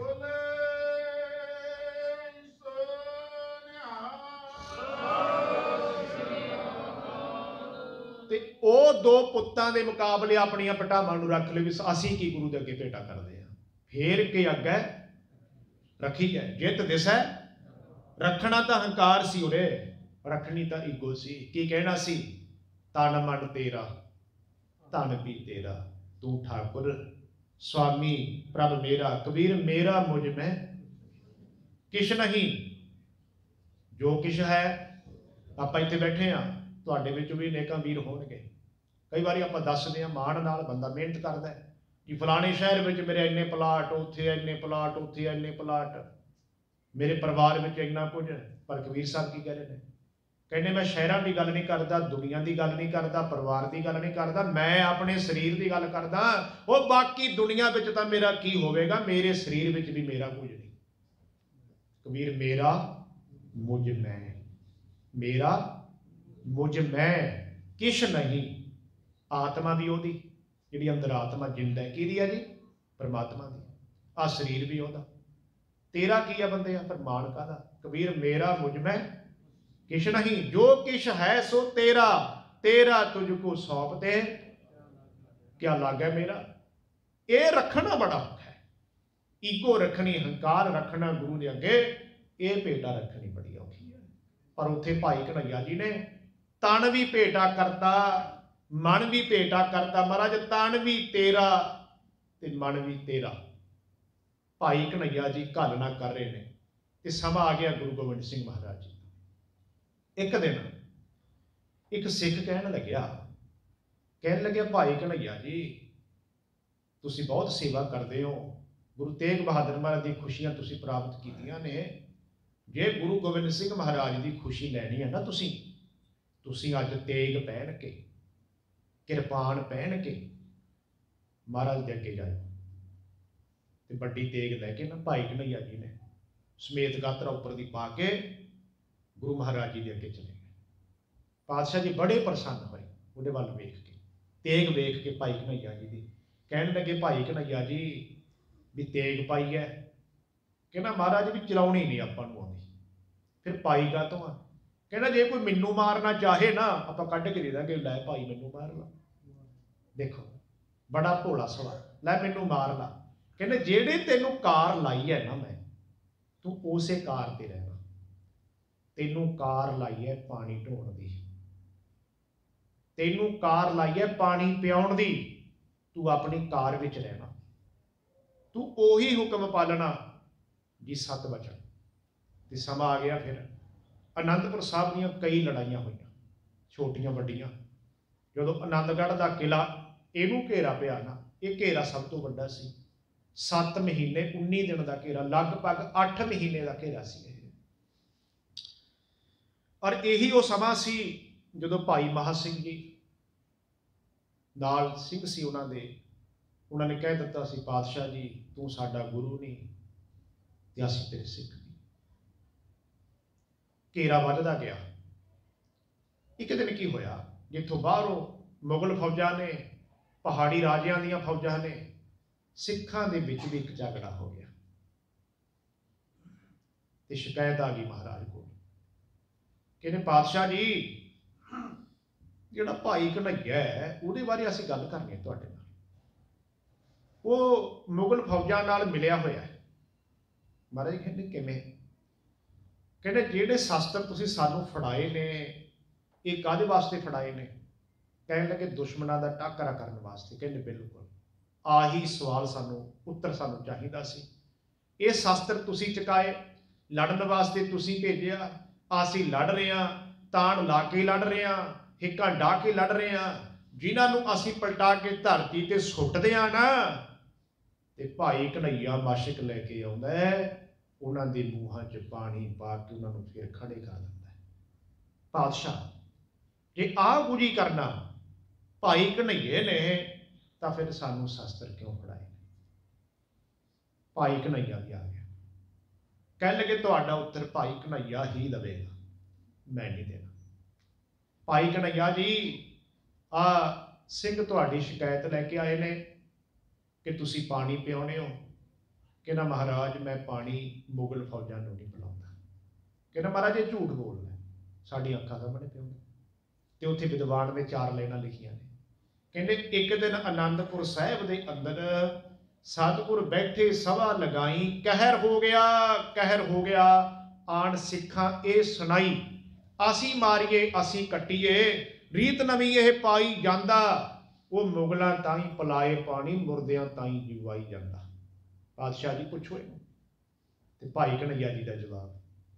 ਪਾਤਸ਼ਾਹ ਜੀ, ਜਿਸ ਦਿਨ ਦੀ ਤੁਹਾਡੀ ਸੰਗਤ ਕੀਤੀ, ਇੱਕੋ ਤੁਕ ਮਨ ਵਿੱਚ ਵਸਾਈ।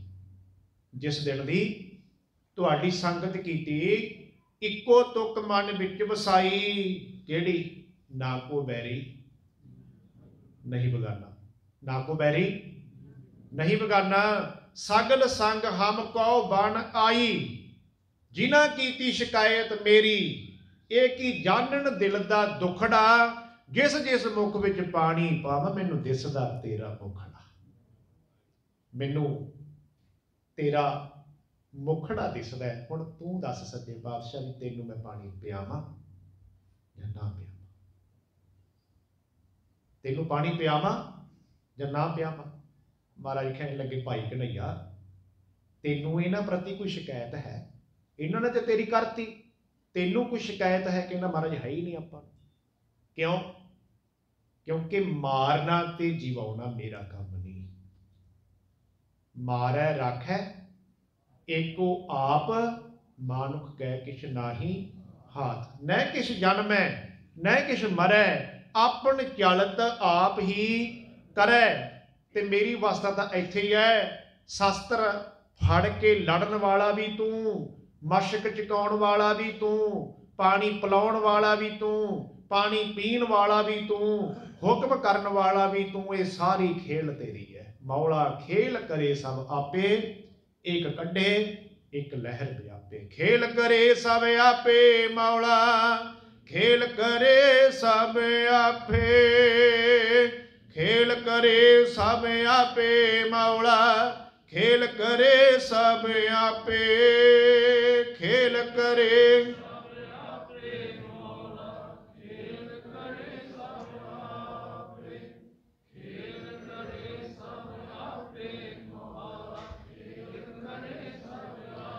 ਜਪੋ ਜੀ ਖੇਲ ਕਰੇ, ਸਭ ਆਪੇ ਮੌਲਾ ਖੇਲ ਕਰੇ, ਸਭ ਆਪੇ ਖੇਲ ਕਰੇ, ਸਭ ਆਪੇ ਮੌਲਾ ਖੇਲ ਕਰੇ, ਸਭ ਆਪੇ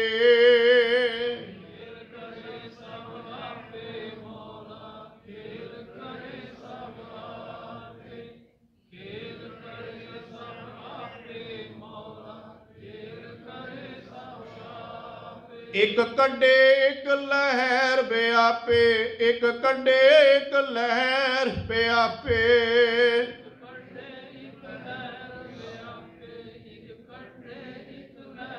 ਹਾਂਜੀ, ਖੇਲ ਕਰੇ ਸਭ ਆਪੇ, ਮੌਲਾ ਖੇਲ ਕਰੇ ਸਭ ਆਪੇ। ਖੇਲ ਕਰੇ ਸਭ ਆਪੇ, ਮੌਲਾ ਖੇਲ ਕਰੇ ਸਭ ਆਪੇ।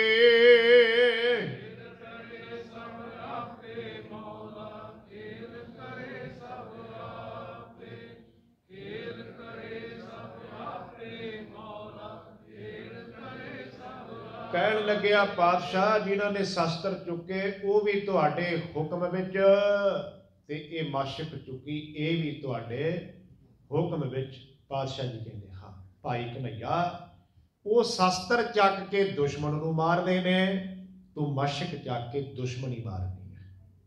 ਲੱਭੋ ਇਸ ਤਰ੍ਹਾਂ ਦਾ ਗੁਰੂ ਦੁਨੀਆ 'ਚ। ਇੱਥੇ ਥੋੜੀ ਜਿਹੀ ਰੁਕ ਕੇ ਬੇਨਤੀ ਕਰਨੀ, ਕਿਸੇ ਦੇ ਮਨ 'ਚ ਭੁਲੇਖਾ ਨਾ ਰਹਿ ਜੇ ਵੀ ਇੱਕ ਪਾਸੇ ਗੁਰੂ ਗੋਬਿੰਦ ਸਿੰਘ ਸਿੰਘਾਂ ਨੂੰ ਸ਼ਾਸਤਰ ਚਕਾਰੇ ਨੇ, ਜਾਓ, ਲੜੋ, ਮਰੋ ਜਾਂ ਮਾਰ ਦਿਓ। ਇੱਕ ਪਾਸੇ ਗੁਰੂ ਮਸ਼ਕ ਚਕਾ ਰਿਹਾ ਭਾਈ ਕਨਈਆ ਉਹਦੇ ਕੋਲ ਮਸ਼ਕ ਹੈ। ਕਾਰਨ ਕੀ ਹੈ? ਭਾਈ ਨੰਦ ਲਾਲ ਜੀ ਦਾ ਵਚਨ ਹੈ, ਹੱਕ ਹੱਕ ਆਈਨਾ ਗੁਰੂ ਗੋਬਿੰਦ ਸਿੰਘ। ਹੱਕ ਸੱਚ ਨੂੰ ਕਹਿੰਦੇ ਨੇ, ਪ੍ਰਮਾਤਮਾ। ਆਈਨਾ ਸ਼ੀਸ਼ੇ ਨੂੰ। ਕਹਿੰਦੇ ਨੇ ਐ ਗੁਰੂ ਗੋਬਿੰਦ ਸਿੰਘ ਸੱਚੇ ਪਾਤਸ਼ਾਹ, ਤੂੰ ਰੱਬ ਦਾ ਸ਼ੀਸ਼ਾ ਹੈ ਹੱਕ ਹੱਕ ਆਈਨਾ, ਗੁਰੂ ਗੋਬਿੰਦ ਸਿੰਘ। ਤੇ ਜਿਹੜਾ ਸ਼ੀਸ਼ਾ ਹੈ ਨਾ, ਸ਼ੀਸ਼ੇ ਤੋਂ ਦੋ ਬੰਦੇ ਲਾਹਾ ਨਹੀਂ ਲੈ ਸਕਦੇ। ਦੋ ਤਰ੍ਹਾਂ ਦੇ ਲੋਕ। ਇੱਕ ਉਹ ਜਿਨ੍ਹਾਂ ਨੂੰ ਦਿਖਾਈ ਨਹੀਂ ਦਿੰਦਾ। ਸੂਰਮੇ ਨੇ, ਅੱਖਾਂ ਤੋਂ ਮਨਾਖੇ ਨੇ। ਉਹਨਾਂ ਨੂੰ ਸ਼ੀਸ਼ੇ ਦਾ ਕੀ ਪਾ ਸ਼ੀਸ਼ਾ ਹੋਵੇ, ਨਾ ਹੋਵੇ, ਕੋਈ ਮਤਲਬ ਹੀ ਨਹੀਂ। ਇੱਕ ਜਿਹੜੇ ਬਦ ਸੂਰਤ ਲੋਕ ਨੇ, ਮਾਫ ਕਰਨਾ। ਚਿਹਰੇ ਦੀ ਬਦ ਸੂਰਤ ਹੈ ਉਹ ਸ਼ੀਸ਼ੇ ਦੇ ਅੱਗੇ ਜਦੋਂ ਆਉਂਦੇ ਨੇ, ਸ਼ੀਸ਼ਾ ਉਹਨਾਂ ਨੂੰ ਤੰਗ ਕਰਦਾ ਹੈ। ਉਹਨਾਂ ਦੀ ਬਦ ਸੂਰਤੀ ਦਿਖਾਉਂਦਾ ਹੈ। ਫਿਰ ਵੱਧ ਸੂਰਤ ਬੰਦਾ ਕਈ ਵਾਰੀ ਰੋੜਾ ਚੁੱਕ ਕੇ ਸ਼ੀਸ਼ੇ ਨੂੰ ਤੋੜਨਾ ਚਾਹੁੰਦਾ ਹੈ। ਗੁਰੂ ਹੈ ਸ਼ੀਸ਼ਾ। ਜਿਨ੍ਹਾਂ ਦੇ ਨੇਤਰ ਬੰਦ ਸੀ ਜਿਨ੍ਹਾਂ ਦੇ ਕੋਲ ਅਗਿਆਨ ਸੀ, ਭਰਮ ਸੀ, ਈਰਖਾ ਸੀ, ਨਫ਼ਰਤ ਸੀ, ਉਹ ਗੁਰੂ ਦੇ ਸ਼ੀਸ਼ੇ ਤੋਂ ਲਾਹਾ ਨਹੀਂ ਲੈ ਸਕੇ। ਗੁਰੂ ਅੰਦਰ ਕੋਈ ਵੈਰ ਨਹੀਂ ਕਿਸੇ ਦਾ।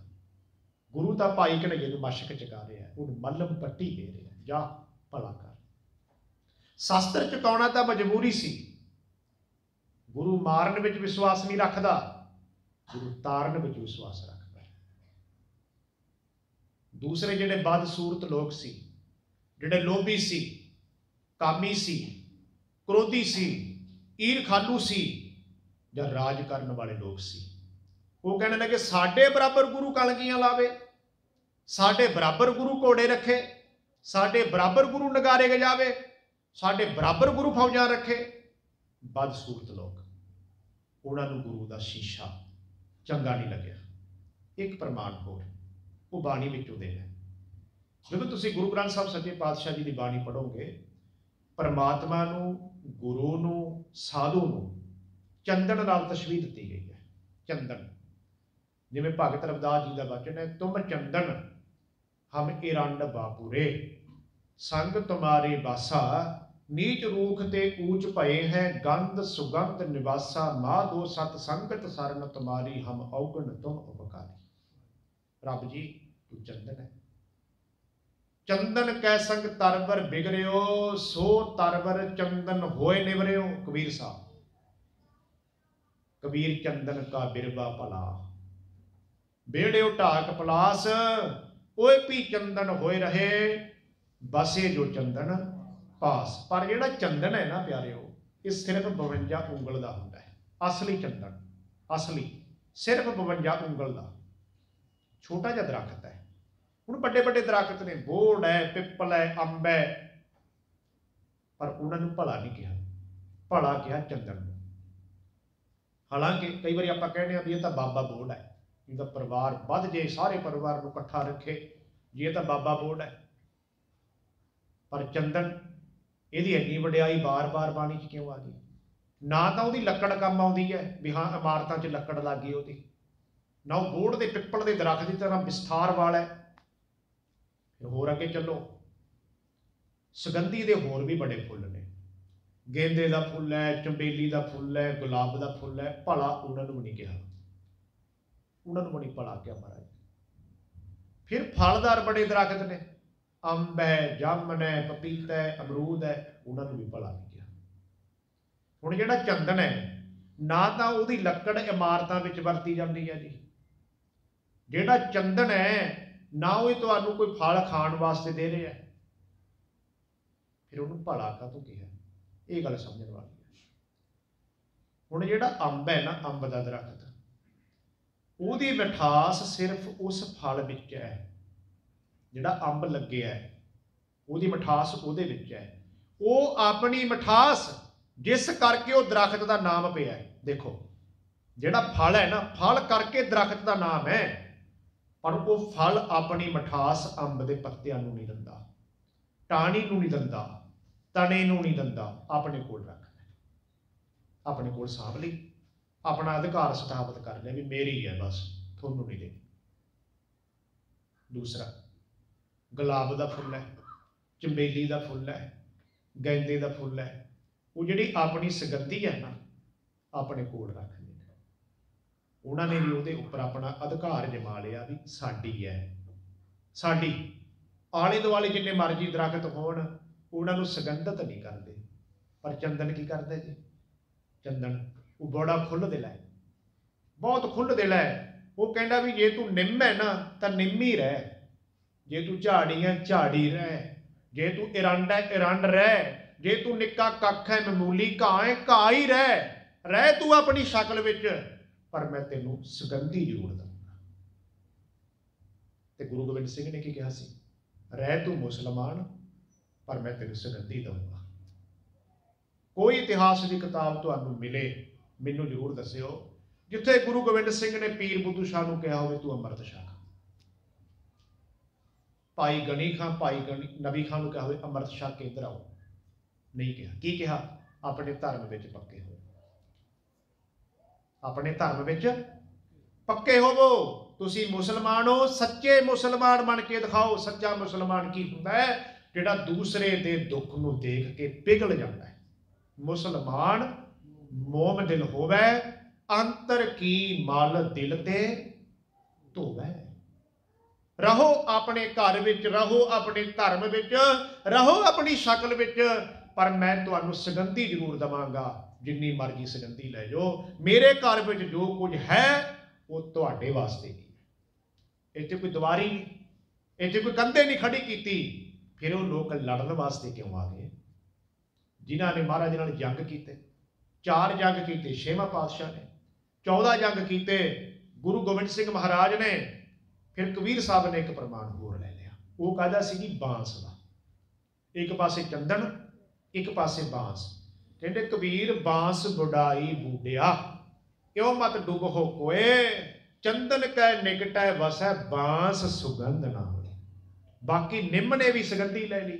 ਹਾਲਾਂਕਿ ਕਿੰਨਾ ਕੁ ਸ਼ੈਲ ਹੈ, ਕੌੜਾ ਹੈ ਇਰੰਡ ਇੱਕ ਮਾਮੂਲੀ ਲੱਕੜ, ਉਹ ਵੀ ਸੁਗੰਧਤ ਹੋ ਗਈ। ਝਾੜੀਆਂ ਵੀ, ਕੱਖ ਵੀ, ਟਿੱਲੇ ਵੀ ਸੁਗੰਧਤ ਹੋ ਗਏ। ਚੰਦਨ ਦੇ ਆਲੇ ਦੁਆਲੇ ਰਹਿ ਕੇ ਪਰ ਇੱਕ ਬਾਂਸ ਸੀ, ਬਾਂਸ ਬਾਂਸ ਸੁਗੰਧੀ ਨਹੀਂ ਲੈ ਸਕਿਆ। ਕਿਉਂ? ਕਿਉਂਕਿ ਬਾਂਸ ਵਿੱਚ ਪੰਜ ਔਗਣ ਨੇ। ਪੰਜ। ਪਹਿਲਾ ਔਗਣ ਹੈ ਬਾਂਸ ਦਾ ਵੀ ਲੰਮਾ ਬਹੁਤ ਹੁੰਦਾ। ਉਹ ਕਹਿੰਦਾ ਵੀ ਮੇਰੇ ਵਰਗਾ ਤਾਂ ਲੰਮਾ ਕੋਈ ਹੈ ਹੀ ਨਹੀਂ। ਮਤਲਬ ਮੇਰੇ ਵਰਗਾ ਉੱਚਾ ਤਾਂ ਕੋਈ ਹੈ ਹੀ ਨਹੀਂ। ਮੇਰੇ ਵਰਗਾ ਮਹਾਨ ਕੋਈ ਹੈ ਨਹੀਂ। ਮੇਰੇ ਵਰਗਾ ਤਾਂ ਕੋਈ ਹੈ ਹੀ ਨਹੀਂ। ਜਿਹੜਾ ਕੋਈ ਉਹ ਬਿਰਤੀ ਲੈ ਕੇ ਆ ਜੀ ਨਾ ਬਾਂਸ ਵਾਲੀ ਗੁਰੂ ਕੋਲ, ਉਹ ਇਥੋਂ ਖਾਲੀ ਜਾਊ ਇਹ ਤੂੰ ਕੁਝ ਨਹੀਂ ਲੈ ਸਕਦਾ।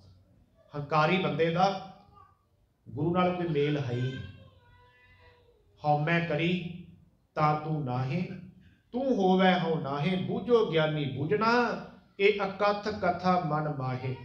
ਜਬ ਲਗ ਮੇਰੀ ਮੇਰੀ ਕਰੈ, ਤਬ ਲਗ ਕਾਜ ਏਕ ਨਹੀਂ ਸਰੈ ਜਬ ਮੇਰੀ ਮੇਰੀ ਮਿਟ ਜਾਏ ਤਬ ਪ੍ਰਭ ਕਾਜ ਸਵਾਰੈ ਆਏ। ਖੁਦੀ ਮਿਟੀ, ਤਬ ਸੁਖ ਪਏ। ਖੁਦੀ ਖੁਦੀ ਤੇ ਖੁਦਾ। ਵਿਰੋਧ ਹੈ ਦੋਵਾਂ ਦਾ। ਜਦੋਂ ਖੁਦ ਹੀ ਮਿਟ ਗਈ, ਮੈਂ ਮੇਰੀ ਮਿਟ ਗਈ, ਖੁਦ ਹੀ ਮਿਟੀ। ਤਬ ਸੁਖ ਭਏ, ਮਨ ਤਨ ਪਏ ਰੋਗ, ਨਾਨਕ ਦ੍ਰਿਸ਼ਟੀ ਆਇਆ। ਹਰੇਕ ਕੰਮ ਵਿੱਚ ਰੱਬ ਵਰਤਦਾ ਨਜ਼ਰ ਆ ਗਿਆ ਵੀ ਤੂੰ ਤਾਂ ਇਹ ਮਾਨ ਕਰੀ ਜਾਂਦਾ, ਤੂੰ ਕਰਦਾ, ਤੂੰ ਥੋੜਾ ਕਰਦਾ, ਕੰਮ ਲਿਆ, ਰੱਬ ਕਰਦਾ ਕਰਨ ਕਾਰਨ ਪ੍ਰਭ ਏਕ ਹੈ, ਦੂਸਰ ਨਾਹੀ ਕੋਏ ਨਾਨਕ ਤਿਸ ਬਲਿਹਾਰ ਨੇ ਜਲ, ਥਲ ਮਈਲ ਸੋ ਅਰ ਐਨੀ ਭੈੜੀ ਬਿਮਾਰੀ ਦੇਖੋ, ਕਈ ਵਾਰੀ ਬੰਦਾ ਮਾੜੇ ਕੰਮ ਕਰੇ ਨਾ, ਸਮਾਜ ਉਹਨੂੰ ਕੀ ਕਹਿੰਦਾ, ਉਹ ਚੰਗੇ ਕੰਮ ਕਰ ਲਿਆ ਕਰ, ਤੇਰੇ ਮਾੜੇ ਕੰਮਾਂ ਤੇ ਪਰਦਾ ਪੈ ਜੂ। ਕਹਿੰਦੇ ਆਪਾਂ, ਕੋਈ ਚੰਗਾ ਕਰ ਲਾ, ਮਾੜੇ ਕੰਮ ਢਕੇ ਜਾਣਗੇ ਤੇਰੇ, ਚੰਗਾ ਕਰ ਲਾ। ਪਰ ਹੰਕਾਰ ਇੱਕ ਇਸ ਤਰ੍ਹਾਂ ਦੀ ਮੈਲ ਹੈ, ਇਸ ਤਰ੍ਹਾਂ ਦੀ ਬਿਮਾਰੀ ਹੈ, ਚੰਗੇ ਕੰਮ ਕਰਕੇ ਲੱਗਦੀ ਹੈ। ਇੱਥੇ ਕੀ ਕਰੋਗੇ? ਗੁਰੂ ਤੇਗ ਬਹਾਦਰ ਮਹਾਰਾਜ ਜੀ ਦਾ ਬਚਨ ਹੈ ਹਾਥੀ ਦਾ ਪ੍ਰਮਾਣ ਹੈ। ਤੀਰਥ ਬਰਦ ਅਰਦਾਨ ਕਰ, ਮਨ ਮੈਂ ਧਰੈ ਗੁਮਾਨ ਨਾਨਕ ਨੇ ਫਲ ਜਾਤ ਤੇ ਜਿਉ ਕੁੰਚਨ ਪਹਿਲਾਂ ਤਾਂ ਹਾਥੀ ਠੀਕ ਸੀ, ਪਰ ਜਿਉਂ ਹੀ ਸਰੋਵਰ ਚ ਗਿਆ, ਤਲਾਬ ਚ ਗਿਆ, ਬਾਹਰ ਆਇਆ ਸੁੰਡ ਰੇਤੇ ਦੀ ਭਰੀ ਦੇ ਉੱਪਰ ਸਿੱਟੀ ਗਿਆ। ਮਤਲਬ ਨਹਾ ਕੇ ਮੈਲ ਲੱਗੀ ਉਹਨੂੰ। ਆਮ ਕਰਕੇ ਮੈਲ ਨਹਾ ਕੇ ਉਤਰਦੀ ਹੈ ਹਾਥੀ ਨੂੰ ਜਿਹੜਾ ਰੇਤਾ ਹੈ ਮੈਲ ਉਹ ਨਹਾ ਕੇ ਲੱਗਦੀ ਹੈ ਇਸੇ ਤਰ੍ਹਾਂ ਦਾ ਹੰਕਾਰ ਹੈ ਇਹ ਕਈ ਵਾਰੀ ਚੰਗੇ ਕੰਮ ਕਰਕੇ ਵੀ ਬੰਦੇ ਨੂੰ ਮੈਲ ਲੱਗ ਜਾਂਦੀ ਜਿਹੜਾ ਇਸ ਤਰ੍ਹਾਂ ਦੀ ਬਿਰਤੀ ਲੈ ਕੇ ਆ ਜੇ ਨਾ, ਉਹ ਗੁਰੂ ਤੋਂ ਕੁਝ ਲੈ ਨਹੀਂ ਸਕਦਾ, ਉਹ ਬਾਂਸ ਹੈ। ਦੂਸਰਾ, ਬਾਂਸ ਦਾ ਜਿਹੜਾ ਔਗਣ ਹੈ, ਉਹ ਅੰਦਰੋਂ ਖੋਖ ਹੈ, ਖਾਲੀ, ਕੁਛ ਵੀ ਨਹੀਂ। ਜੇ ਅਸੀਂ ਬਸ ਖਾਲੀ ਹੋ ਕੇ ਆ ਗਏ, ਖਾਲੀ ਦਾ ਮਤਲਬ ਇਹ ਨਹੀਂ ਹੁੰਦਾ ਵੀ ਸਾਡੇ ਬੋਝੇ ਵਿੱਚ ਪੈਸੇ ਚਾਹੀਦੇ ਨੇ। ਮਾਫ ਕਰਨਾ, ਇਹ ਤੁਹਾਡੀ ਤੁਸ਼ ਭੇਟ ਹੈ। ਪਰ ਗੁਰੂ ਕੱਲਾ ਤੁਹਾਡਾ ਬੋਝਾ ਨਹੀਂ ਵੇਖਦਾ, ਗੁਰੂ ਤੁਹਾਡਾ ਦਿਲ ਵੇਖਦਾ। ਅੰਦਰ ਨੀਅਤ, ਹੁਣ ਸ਼ਰਧਾ ਕੋਈ ਨਹੀਂ ਭਾਵਨਾ ਕੋਈ ਨਹੀਂ, ਪ੍ਰੇਮ ਕੋਈ ਨਹੀਂ, ਨਿਮਰਤਾ ਕੋਈ ਨਹੀਂ, ਸਿਦਕ ਕੋਈ ਨਹੀਂ ਤੇ ਗੁਰੂ ਕੋਲ ਆ ਗਿਆ ਤੇ ਉੱਥੇ ਬਚਨ ਕੀ ਹੈ? ਕਹਿੰਦੇ, ਸਤਿਗੁਰ ਕੀ ਪ੍ਰਤੀਤ ਨਾ ਆਈਆ? ਪ੍ਰਤੀਤ ਭਰੋਸਾ, ਵਿਸ਼ਵਾਸ। ਸਤਿਗੁਰ ਕੀ ਪ੍ਰਤੀਤ ਨਾ ਆਈਆ? ਸ਼ਬਦ ਨਾ ਲਾਗੋ ਭਾਉ ਉਸ ਨੂੰ ਸੁਖ ਨਾ ਉਪਜੈ। ਉਹਦੀ ਜ਼ਿੰਦਗੀ 'ਚ ਕਦੇ ਵੀ ਸੁਖ ਨਹੀਂ ਆ ਸਕਦਾ। ਭਾਵੇਂ 100 ਗੇੜਾ ਆਵੋ, ਜਾਓ 100 ਵਾਰੀ ਗੁਰਦੁਆਰੇ ਆਵੇ ਤੇ 100 ਵਾਰੀ ਮੁੜ ਜੇ ਪ੍ਰਕਰਮਾ ਕਰਕੇ। ਕਿਉਂ? ਕਿਉਂਕਿ ਅੰਦਰ ਸ਼ੁਭ ਗੁਣ ਨਹੀਂ ਬਿਨ ਗੁਣ ਕੀਤੇ, ਬੋਲੋ ਜੀ, ਬਿਨ ਗੁਣ ਕੀਤੇ, ਖੇਤੀ ਦੇ ਦੋ ਰੂਪ ਨੇ। ਇੱਕ ਬੀਜ ਬੀਜਣ ਤੋਂ ਪਹਿਲਾਂ, ਇੱਕ ਬੀਜ ਬੀਜਣ ਤੋਂ ਬਾਅਦ ਵਿੱਚ। ਹੁਣ ਇੱਥੇ ਵੀ ਸਵਾਲ ਹੈ ਨਾ। ਇੱਥੇ ਵੀ ਸਵਾਲ ਹੈ, ਬਿਨ ਗੁਣ ਕੀਤੇ, ਭਗਤ ਨਾ ਹੋਏ। ਵੀ ਜੇ ਗੁਣ ਪਹਿਲੇ ਹੀ ਆ ਗਏ, ਫਿਰ ਭਗਤੀ ਕਰਨ ਦੀ ਕੀ ਲੋੜ ਹੈ? ਦੇਖੋ, ਇਹ ਵੀ ਤਾਂ ਸਵਾਲ ਹੀ ਹੈ ਨਾ। ਬਿਨ ਗੁਣ ਕੀਤੇ, ਭਗਤ ਨਾ ਹੋਏ। ਪਰ ਉਹ ਕਿਹੜੇ ਗੁਣ ਨੇ? ਜੋ ਭਗਤੀ ਤੋਂ ਪਹਿਲਾਂ ਤੁਹਾਡੇ 'ਚ ਹੋਣੇ ਚਾਹੀਦੇ ਨੇ। ਉਹ ਕਿਹੜੇ ਗੁਣ ਨੇ ਜੋ ਭਗਤੀ ਕਰਕੇ ਤੁਹਾਨੂੰ ਮਿਲਦੇ ਨੇ? ਉਹ ਸਮਝਣ ਵਾਲੀ ਗੱਲ ਹੈ। ਭਗਤੀ ਕਰਨ ਤੋਂ ਪਹਿਲਾਂ, ਬਾਣੀ ਪੜਨ ਤੋਂ ਪਹਿਲਾਂ, ਗੁਰੂ ਕੋਲ ਆਉਣ ਤੋਂ ਪਹਿਲਾਂ ਤੁਹਾਡੇ ਵਿੱਚ ਸ਼ਰਧਾ ਹੋਣੀ ਬਹੁਤ ਜ਼ਰੂਰੀ ਹੈ। ਵਿਸ਼ਵਾਸ ਹੋਣਾ ਬਹੁਤ ਜ਼ਰੂਰੀ ਹੈ।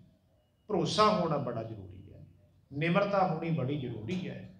ਤੇ ਮਨ ਦਾ ਟਿਕਾ, ਮਨ ਦੀ ਇਕਾਗਰਤਾ, ਸਾਵਧਾਨਤਾ ਸਰੀਰ ਦੀ ਹੋਣੀ ਬਹੁਤ ਜ਼ਰੂਰੀ ਹੈ। ਜੇ ਇਹ ਗੁਣਾ ਤੋਂ ਖਾਲੀ ਹੋ ਕੇ ਆ ਗਏ, ਮਹਾਰਾਜ ਕਹਿੰਦੇ ਭਗਤੀ ਨਹੀਂ ਹੋਣੀ। ਬਿਨ ਗੁਣ ਕੀਤੇ ਭਗਤ ਨਾ ਔਰ ਜਦੋਂ ਭਗਤੀ ਕਰਨ ਲੱਗੇ ਫਿਰ ਉਹ ਕਿਹੜੇ ਗੁਣ ਨੇ? ਸਤ ਸੰਤੋਖ, ਦਇਆ, ਧਰਮ, ਸ਼ੁਭ ਵਿਚਾਰ। ਇਹ ਭਗਤੀ ਕਰਕੇ ਮਿਲਣਗੇ ਤੁਹਾਨੂੰ। ਮਤਲਬ ਖੇਤ ਬੀਜਣ ਤੋਂ ਪਹਿਲਾਂ ਖੇਤ ਵਾਹੁਣਾ ਪੈਂਦਾ ਹੈ। ਉਹ ਕੱਖ ਕੰਡੇ ਚੁਗਣੇ ਪੈਂਦੇ ਨੇ। ਬਤਰ ਵਿੱਚ ਲਿਆਉਣਾ ਪੈਂਦਾ ਹੈ। ਫੇਰ ਬੀਜ ਪਾਉਣਾ ਪੈਂਦਾ, ਬੀਜ ਪਾ ਕੇ ਵੀ ਹੱਥ ਤੇ ਹੱਥ ਧਰ ਕੇ ਘਰੇ ਨਹੀਂ ਬਹਿੰਦੇ। ਮੁੜ ਕੇ ਗੇੜਾ ਵੀ ਰੱਖਣਾ ਪੈਂਦਾ ਹੈ। ਉਹਨੂੰ ਪਾਣੀ ਵੀ ਲਾਉਣਾ ਪੈਂਦਾ ਹੈ। ਉਹਨੂੰ ਖਾਦ ਵੀ ਪਾਉਣੀ ਪੈਂਦੀ ਹੈ। ਉਹਨੂੰ ਬਾੜ ਵੀ ਕਰਨੀ ਪੈਂਦੀ ਹੈ। ਤੇ ਪੱਕੀ ਫਸਲ ਫਿਰ ਕੱਟਣੀ ਵੀ ਪੈਂਦੀ ਹੈ। ਕੁਝ ਕੰਮ ਬੀਜ ਕਰਨ ਤੋਂ ਪਹਿ, ਪਾਉਣ ਤੋਂ ਪਹਿਲਾਂ ਨੇ ਤੇ ਕੁਝ ਕੰਮ ਬੀਜ ਪਾਉਣ ਤੋਂ ਬਾਅਦ ਵਿੱਚ ਨੇ। ਇਹੀ ਗੱਲ ਇੱਧਰ ਹੈ। ਧਰਮ ਦੀ ਦੁਨੀਆ 'ਚ। ਹੁਣ ਜਿਹੜਾ ਬਾਂਸ ਹੈ, ਉਹ ਅੰਦਰੋਂ ਖਾਲੀ। ਤਾਂ ਕਰਕੇ ਚੰਦਨ ਤੋਂ ਕਬੀਰ ਸਾਹਿਬ ਕਹਿੰਦੇ, ਲਾਹਾ ਨਹੀਂ ਲੈ ਸਕਦਾ। ਤੀਜਾ ਉਪਨ ਹੈ ਜੀ ਚੰਦਨ ਦਾ, ਕਿ ਉਹਦੇ ਵਿੱਚ ਗੰਢਾਂ ਨੇ, ਹਰੇਕ ਪੋਰੀ ਤੇ, ਜਿਵੇਂ ਗੰਨੇ 'ਚ ਗੰਢਾਂ ਹੁੰਦੀਆਂ ਨਾ ਹਰੇਕ ਪੋਰੀ ਬਾਂਸ ਵਿੱਚ ਵੀ ਨੇ। ਤੇ ਇਧਰ ਗੰਢਾਂ ਕਿਹੜੀਆਂ ਨੇ? ਜਿਹੜਾ ਬਾਂਸ ਦੀ ਨਿਆਈ ਮਨੁੱਖ ਆ ਗਿਆ ਗੁਰੂ ਰੂਪ ਚੰਦਨ ਕੋਲ, ਉਹਨੇ ਈਰਖਾ ਦੀਆਂ ਗੰਢਾਂ। ਜਿਹੜਾ ਈਰਖਾ ਰੱਖ ਕੇ ਇੱਥੇ ਆ ਗਿਆ ਨਾ, ਇੱਥੇ, ਗੁਰੂ ਨਾਨਕ ਦੇ ਘਰ 'ਚ। ਕਹਿੰਦੇ ਕੁਛ ਨਹੀਂ ਲੈ ਸਕਦਾ। ਈਰਖਾ ਦੀਆਂ ਗੰਢਾਂ, ਇੱਥੇ ਨਹੀਂ ਚੱਲਦੀਆਂ। ਫਿਰ ਚੌਥਾ ਔਗਣ ਹੈ ਜੀ ਬਾਂਸ ਦਾ, ਕਿਹੜਾ? ਤੁਸੀਂ ਪਿਆਰ ਨਾਲ ਉਹਤੇ ਹੱਥ ਫੇਰੋ, ਉਹ ਤੁਹਾਡੇ ਕੋਮਲ ਹੱਥ ਵਿੱਚ ਛਿਲਤ ਮਾਰਦਾ ਹੈ ਬੜੀਆਂ ਤਿੱਖੀਆਂ ਹੁੰਦੀਆਂ ਛਿਲਤਾਂ ਇੱਥੇ ਜਾਤ ਪਾਤ ਦੀਆਂ ਛਿਲਤਾਂ ਲੈ ਕੇ ਜਿਹੜਾ ਆ ਗਿਆ ਨਾ, ਗੁਰੂ ਨਾਨਕ ਦੇ ਘਰ ਵਿੱਚ। ਕਿਉਂਕਿ ਪਾਤਸ਼ਾਹ ਕੀ ਕਹਿੰਦੇ? ਸਭ ਮੈਂ ਜੋਤ ਜੋਤ ਹੈ ਸੋਏ, ਤਿਸ ਦਾ ਜਾਣਨ। ਧਰਮੀ ਬੰਦੇ ਦੀ ਸਿਖਰ ਕੀ ਹੈ? ਧਿਆਨ ਦਿਓ। ਅਖੀਰਲਾ ਵਚਨ ਹੈ ਗੁਰੂ ਅਰਜਨ ਮਹਾਰਾਜ ਜੀ ਦਾ, ਪਿੱਛੇ ਜਾ ਕੇ ਹੈ, ਸਭ ਤੋਂ ਪਿੱਛੇ। ਥਾਲ ਵਿੱਚ ਸਤ ਸੰਤੋਖ ਸਾਰੇ ਪੜਿਓ ਨਾਲ ਨਾਲ ਅਰਥ ਲੈ ਕੇ ਚੱਲਿਓ। ਗੁਰੂ ਗ੍ਰੰਥ ਸਾਹਿਬ ਸੱਚੇ ਪਾਤਸ਼ਾਹ ਥਾਲ ਦੀ ਨਹੀਂ ਆਈ ਨੇ, ਤਿੰਨ ਵਸਤੂਆਂ ਦੇ ਵਿੱਚ। ਸਤ ਸੰਤੋਖ ਤੇ ਨਾਮ ਸ਼ਕਲ ਦਾ ਤਰੀਕਾ ਵਿਚਾਰ ਹੈ। ਥਾਲ ਵਿੱਚ ਤਿੰਨ ਵਸਤੂ ਪਈਓ, ਸਤ ਸੰਤੋਖ ਵਿਚਾਰੋ ਅੰਮ੍ਰਿਤ ਨਾਮ ਠਾਕੁਰ ਕਾ, ਜਿਸ ਕਾ ਜੇ ਕੋ ਖਾਵੇ, ਜੇ ਕੋਈ ਇਹਨੂੰ ਖਾ ਲਵੇ ਸੱਚੇ ਭੋਜਨ ਨੂੰ, ਜੇ ਕੋ ਭੁੰਜੈ, ਜੇ ਕੋਈ ਪਚਾ ਵੀ ਲਵੇ, ਹਾਜ਼ਮ ਕਰ ਲੇ। ਪਹਿਲਾਂ ਤਾਂ ਖਾਣਾ ਹੀ ਔਖਾ ਹੈ। ਆਖਣ ਔਖਾ, ਸਾਚਾ ਨਾ। ਪਹਿਲਾਂ ਤਾਂ ਖਾਣਾ ਔਖਾ ਹੈ, ਪਰ ਜੇ ਕੋਈ ਖਾ ਲਵੇ, ਫਿਰ ਪਚਾਉਣਾ ਔਖਾ ਹੈ। ਕਿਉਂ? ਬੰਦਾ ਖਾ ਕੇ ਦੱਸਦਾ ਫਿਰਦਾ ਵੀ ਮੈਂ 2:30 ਵਜੇ ਉੱਠਦਾ। ਤੇ ਪੰਜ ਪਾਠ ਸੁਖਨੀ ਸਾਹਿਬ ਦੇ ਕਰਦਾ। ਨਾਲ ਮੈਂ ਬਾਣੀ ਪੜ੍ਹਦਾ, ਸਹਿਜ ਪਾਠ ਵੀ ਕਰਦਾ, ਇਹ ਕਰਦਾ, ਉਹ ਕਰਦਾ ਲਿਸਟਾਂ ਨੇ ਸਾਡੇ ਕੋਲ। ਇਹਨੂੰ ਬਚਾਉਣਾ ਬੜਾ ਔਖਾ ਹੈ। ਜੇ ਕੋ ਖਾਵੇ, ਜੇ ਕੋ ਪੁੰਚੈ ਔਰ ਜਿਹੜਾ ਭੋਜਨ ਪਚ ਜਾਏ, ਖੂਨ ਉਹਦਾ ਬਣਦਾ ਹੈ। ਜਿਹੜਾ ਭੋਜਨ ਨਾ ਪਚੇ, ਖੂਨ ਨਹੀਂ ਕਦੇ ਬਣਦਾ। ਜੇ ਕੋ ਖਾਵੇ, ਜੇ ਕੋ ਪੁੰਚੈ ਤਿਸ ਹੋਏ। ਉਦਾਰੋ ਉਹਦਾ ਉਦਾਹਰਣ। ਕਹਿੰਦੇ ਇਹ ਵਸਤ ਤਜੀ ਲਹਿ ਜਾਈ ਨਿਤ ਨਿਤ। ਲਓ ਜੀ, ਹੁਣ ਫਲ ਦੇਣ ਲੱਗੇ ਨੇ ਮਹਾਰਾਜ, ਫਲ। ਧਰਮੀ ਬੰਦੇ ਦਾ। ਜਿਹਨੇ ਭੋਜਨ ਛਕ ਲਿਆ, ਜਿਹਨੇ ਭੋਜਨ ਪਚਾ ਲਿਆ, ਜਿਹਨੇ ਸੱਚੇ ਨਾਮ ਦੇ ਭੋਜਨ ਨੂੰ ਆਪਣੇ ਜੀਵਨ ਦਾ ਆਧਾਰ ਬਣਾ ਲਿਆ, ਅਖੀਰ ਨੇ ਤੁਕ ਫਿਰ ਉਹਦਾ ਪ੍ਰਤੀਫਲ ਰਿਜ਼ਲਟ ਨਤੀਜਾ ਕੱਢਤਾ। ਕੀ ਕਹਿੰਦੇ? ਤਮ ਸੰਸਾਰ। ਚਰਨ ਲੱਗ। ਇਹ ਸੰਸਾਰ ਅਗਿਆਨਤਾ ਦਾ ਹਨੇਰਾ ਇਹਦੇ ਵਿੱਚ ਭਰਿਆ ਪਿਆ ਜੇ ਕੋਈ ਜੁੜ ਜੂ, ਇਹ ਤੋਂ ਤਰ ਜੂ। ਸਭ ਨਾਨਕ ਬ੍ਰਹਮ ਪਸਾਰ। ਜਿੱਧਰ ਜਿੱਧਰ ਵੀ ਵੇਖੋਗੇ, ਤੁਹਾਨੂੰ ਰੱਬ ਦਿਸੇਗਾ। ਦੋਏ ਦੋਏ ਲੋਚਨ ਪੇਖਾਂ, ਹਉ ਹਰ ਬਿਨ ਔਰ ਨ ਦੇਖਾਂ। ਨੈਣ ਰਹੇ ਰੰਗ ਲਾਈ, ਅਬ ਬੇਗਲ ਕਹਿਣ ਨ ਜਾਈ। ਹਮਰਾ ਭਰਮ ਗਿਆ ਪਉ ਭਾਗਾ, ਜਬ RAM ਨਾਮ ਚਿਤ ਲਾਗਾ। ਜੈ ਜੈ ਪੇਖੋ, ਤੈ ਹਜੂਰ ਦੂਰ ਕਤ ਹੋ ਨਾ ਜਾਈ। ਰਬ ਰਹਿਆ ਸਰਵਤਰ ਮੈਂ, ਮਨ ਸਦਾ ਤੇ ਆਈ ਇਹ ਬਿਰਤੀ ਬਣ ਗਈ ਉਹਦੀ। ਤਮ ਸੰਸਾਰ ਚਰਨ ਲਗ ਤਰੀਐ, ਸਭ ਨਾਨਕ ਬ੍ਰਹਮ ਪਸਾਰੋ। ਇੱਥੇ ਜਾਤ ਪਾਤ ਦੀਆਂ ਸ਼ਿਲਤਾਂ ਨਹੀਂ ਚੱਲਣਗੀਆਂ, ਗੁਰੂ ਨਾਨਕ ਸੱਚੇ ਪਾਤਸ਼ਾਹ ਜੀ ਦੇ ਘਰ ਵਿੱਚ। ਜਦੋਂ ਮਹਾਰਾਜ ਨੇ ਸੱਚੀ ਆਰਤੀ ਦਾ ਜ਼ਿਕਰ ਕੀਤਾ, ਇਹ ਜਿਹੜਾ ਸ਼ਬਦ ਹੈ ਨਾ, ਦੋ ਤੁਕਾਂ ਨੇ, ਕਿਹੜੇ ਸ਼ਬਦ ਵਿੱਚ ਆ ਰਹੀਆਂ? ਗਗਨ ਮੈਂ ਥਾਲ ਰਵ ਚੰਦ ਦੀਪਕ ਬਣੇ, ਤਾਰੇ ਕਾ ਮੰਡਲ, ਉਹਦੀਆਂ ਤੁਕਾਂ ਨੇ ਸੱਚੀ ਆਰਤੀ ਰੱਬ ਦੀ ਇਹ ਹੈ ਕਿ ਸਾਰਿਆਂ ਵਿੱਚੋਂ ਰੱਬ ਦੀ ਜੋਤ ਦੇਖੋ। ਸਭ ਮੈਂ ਜੋਤ ਜੋਤ ਹੈ ਸੋਏ, ਤਿਸ ਦਾ ਚਾਨਣ। ਸਭ ਮੈਂ ਚਾਨਣ ਹੋਏ ਤੇ ਪੰਜਵਾਂ ਜਿਹੜਾ ਬਾਂਸ ਹੈ ਨਾ, ਉਹਦੀ ਕਮੀ ਉਹ ਸਭ ਤੋਂ ਖਤਰਨਾਕ ਹੈ। ਕਿਹੜੀ ਜੀ? ਕੁਲ ਘਾਤਕ। ਕੁਲ ਘਾਤਕ ਹੈ ਉਹ ਕਿ ਜਦੋਂ ਬਾਂਸ ਇਕੱਠੇ ਹੁੰਦੇ ਨੇ ਜੰਗਲਾਂ ਦੇ ਵਿੱਚ, ਗਰਮੀ ਦੀ ਰੁੱਤ ਹੁੰਦੀ ਹੈ, ਬਾਂਸ ਆਪਸ ਵਿੱਚ ਭਿੜਦੇ ਨੇ ਤੇ ਅੱਗ ਨਿਕਲਦੀ ਹੈ। ਉਹ ਅੱਗ ਫਿਰ ਬਾਂਸਾਂ ਨੂੰ ਵੀ ਲੱਗਦੀ ਹੈ ਉਹ ਅੱਗ ਫਿਰ ਜੰਗਲ ਨੂੰ ਵੀ ਲੱਗਦੀ ਹੈ ਉਹ ਅੱਗ ਫਿਰ ਜਿਹੜੇ ਜੰਗਲ ਵਿੱਚ ਝਾੜੀਆਂ ਨੇ, ਘਾਹ ਸਭ ਨੂੰ ਲੱਗ ਕੇ ਸਵਾਹ ਕਰ ਦਿੰਦੀ ਹੈ ਕੋਲ ਘਾਤਕ ਹੈ ਬਾਂਸ ਤੇ ਇੱਥੇ ਜਿਹੜਾ ਸਿੱਖ ਹੋ ਕੇ ਸਿੱਖ ਦਾ ਹੀ ਬੁਰਾ ਕਰੇ ਸਿੱਖ ਹੋ ਕੇ ਸਿੱਖ ਦਾ ਬੁਰਾ ਕਰਨਾ ਦੇਖੋ ਬੁਰਾ ਤਾਂ ਕਿਸੇ ਦਾ ਵੀ ਮਾੜਾ ਹੈ ਬੁਰਾ ਤਾਂ ਕਿਸੇ ਦਾ ਵੀ ਮਾੜਾ ਹੈ ਪਰ ਸਿੱਖ ਹੋ ਕੇ ਸਿੱਖ ਦੀਆਂ ਲੱਤਾਂ ਖਿੱਚਣੀਆਂ, ਸਿੱਖ ਹੋ ਕੇ ਸਿੱਖ ਦਾ ਮਾੜਾ ਕਰਨਾ, ਇਹ ਸਭ ਤੋਂ ਖਤਰਨਾਕ ਹੈ। ਜਿਹੜਾ ਇਹ ਬਿਰਤੀ ਲੈ ਕੇ ਇੱਥੇ ਆ ਜੇ, ਇੱਥੇ, ਬਾਦਸ਼ਾਹ ਕਹਿੰਦੇ, ਉਹ ਬਾਂਸ ਹੈ ਭਾਈ, ਉਹ ਗੁਰੂ ਰੂਪ ਚੰਦਨ ਤੋਂ ਕੋਈ ਲਾਹਾ ਨਹੀਂ ਲੈ ਸਕਦਾ। ਗੁਰੂ ਗੋਬਿੰਦ ਸਿੰਘ ਸੱਚੇ ਪਾਤਸ਼ਾਹ ਚੰਦਨ ਦੀ ਤਰ੍ਹਾਂ ਨੇ। ਚੰਦਨ ਹਰ ਵਕਤ ਸੁਗੰਧੀ ਵੰਡ ਰਹੇ ਨੇ। ਕੋਈ ਹਿੰਦੂ ਆਵੇ, ਕੋਈ ਮੁਸਲਮਾਨ ਆਵੇ, ਜੈਨੀ, ਬੋਧੀ, ਜਿਹੜਾ ਮਰਜ਼ੀ ਆ ਜੇ, ਇਹ ਘਰ ਦੇ ਦਰਵਾਜ਼ੇ ਸਾਰਿਆਂ ਲਈ ਖੁੱਲੇ ਨੇ। ਪਰ ਜੇ ਕੋਈ ਖੋਦੀ ਬਾਂਸ ਬਣ ਕੇ ਆ ਜੇ, ਉੱਥੇ ਚੰਦਨ ਕੀ ਕਰੇ? ਉੱਥੇ ਚੰਦਨ ਕੀ ਕਰੇ? ਕਬੀਰ, ਬਾਂਸ ਵਡਾਈ ਬੁੱਢਿਆ ਇਹੋ ਮਤ ਡੁੱਬ ਹੋ ਕੋਏ।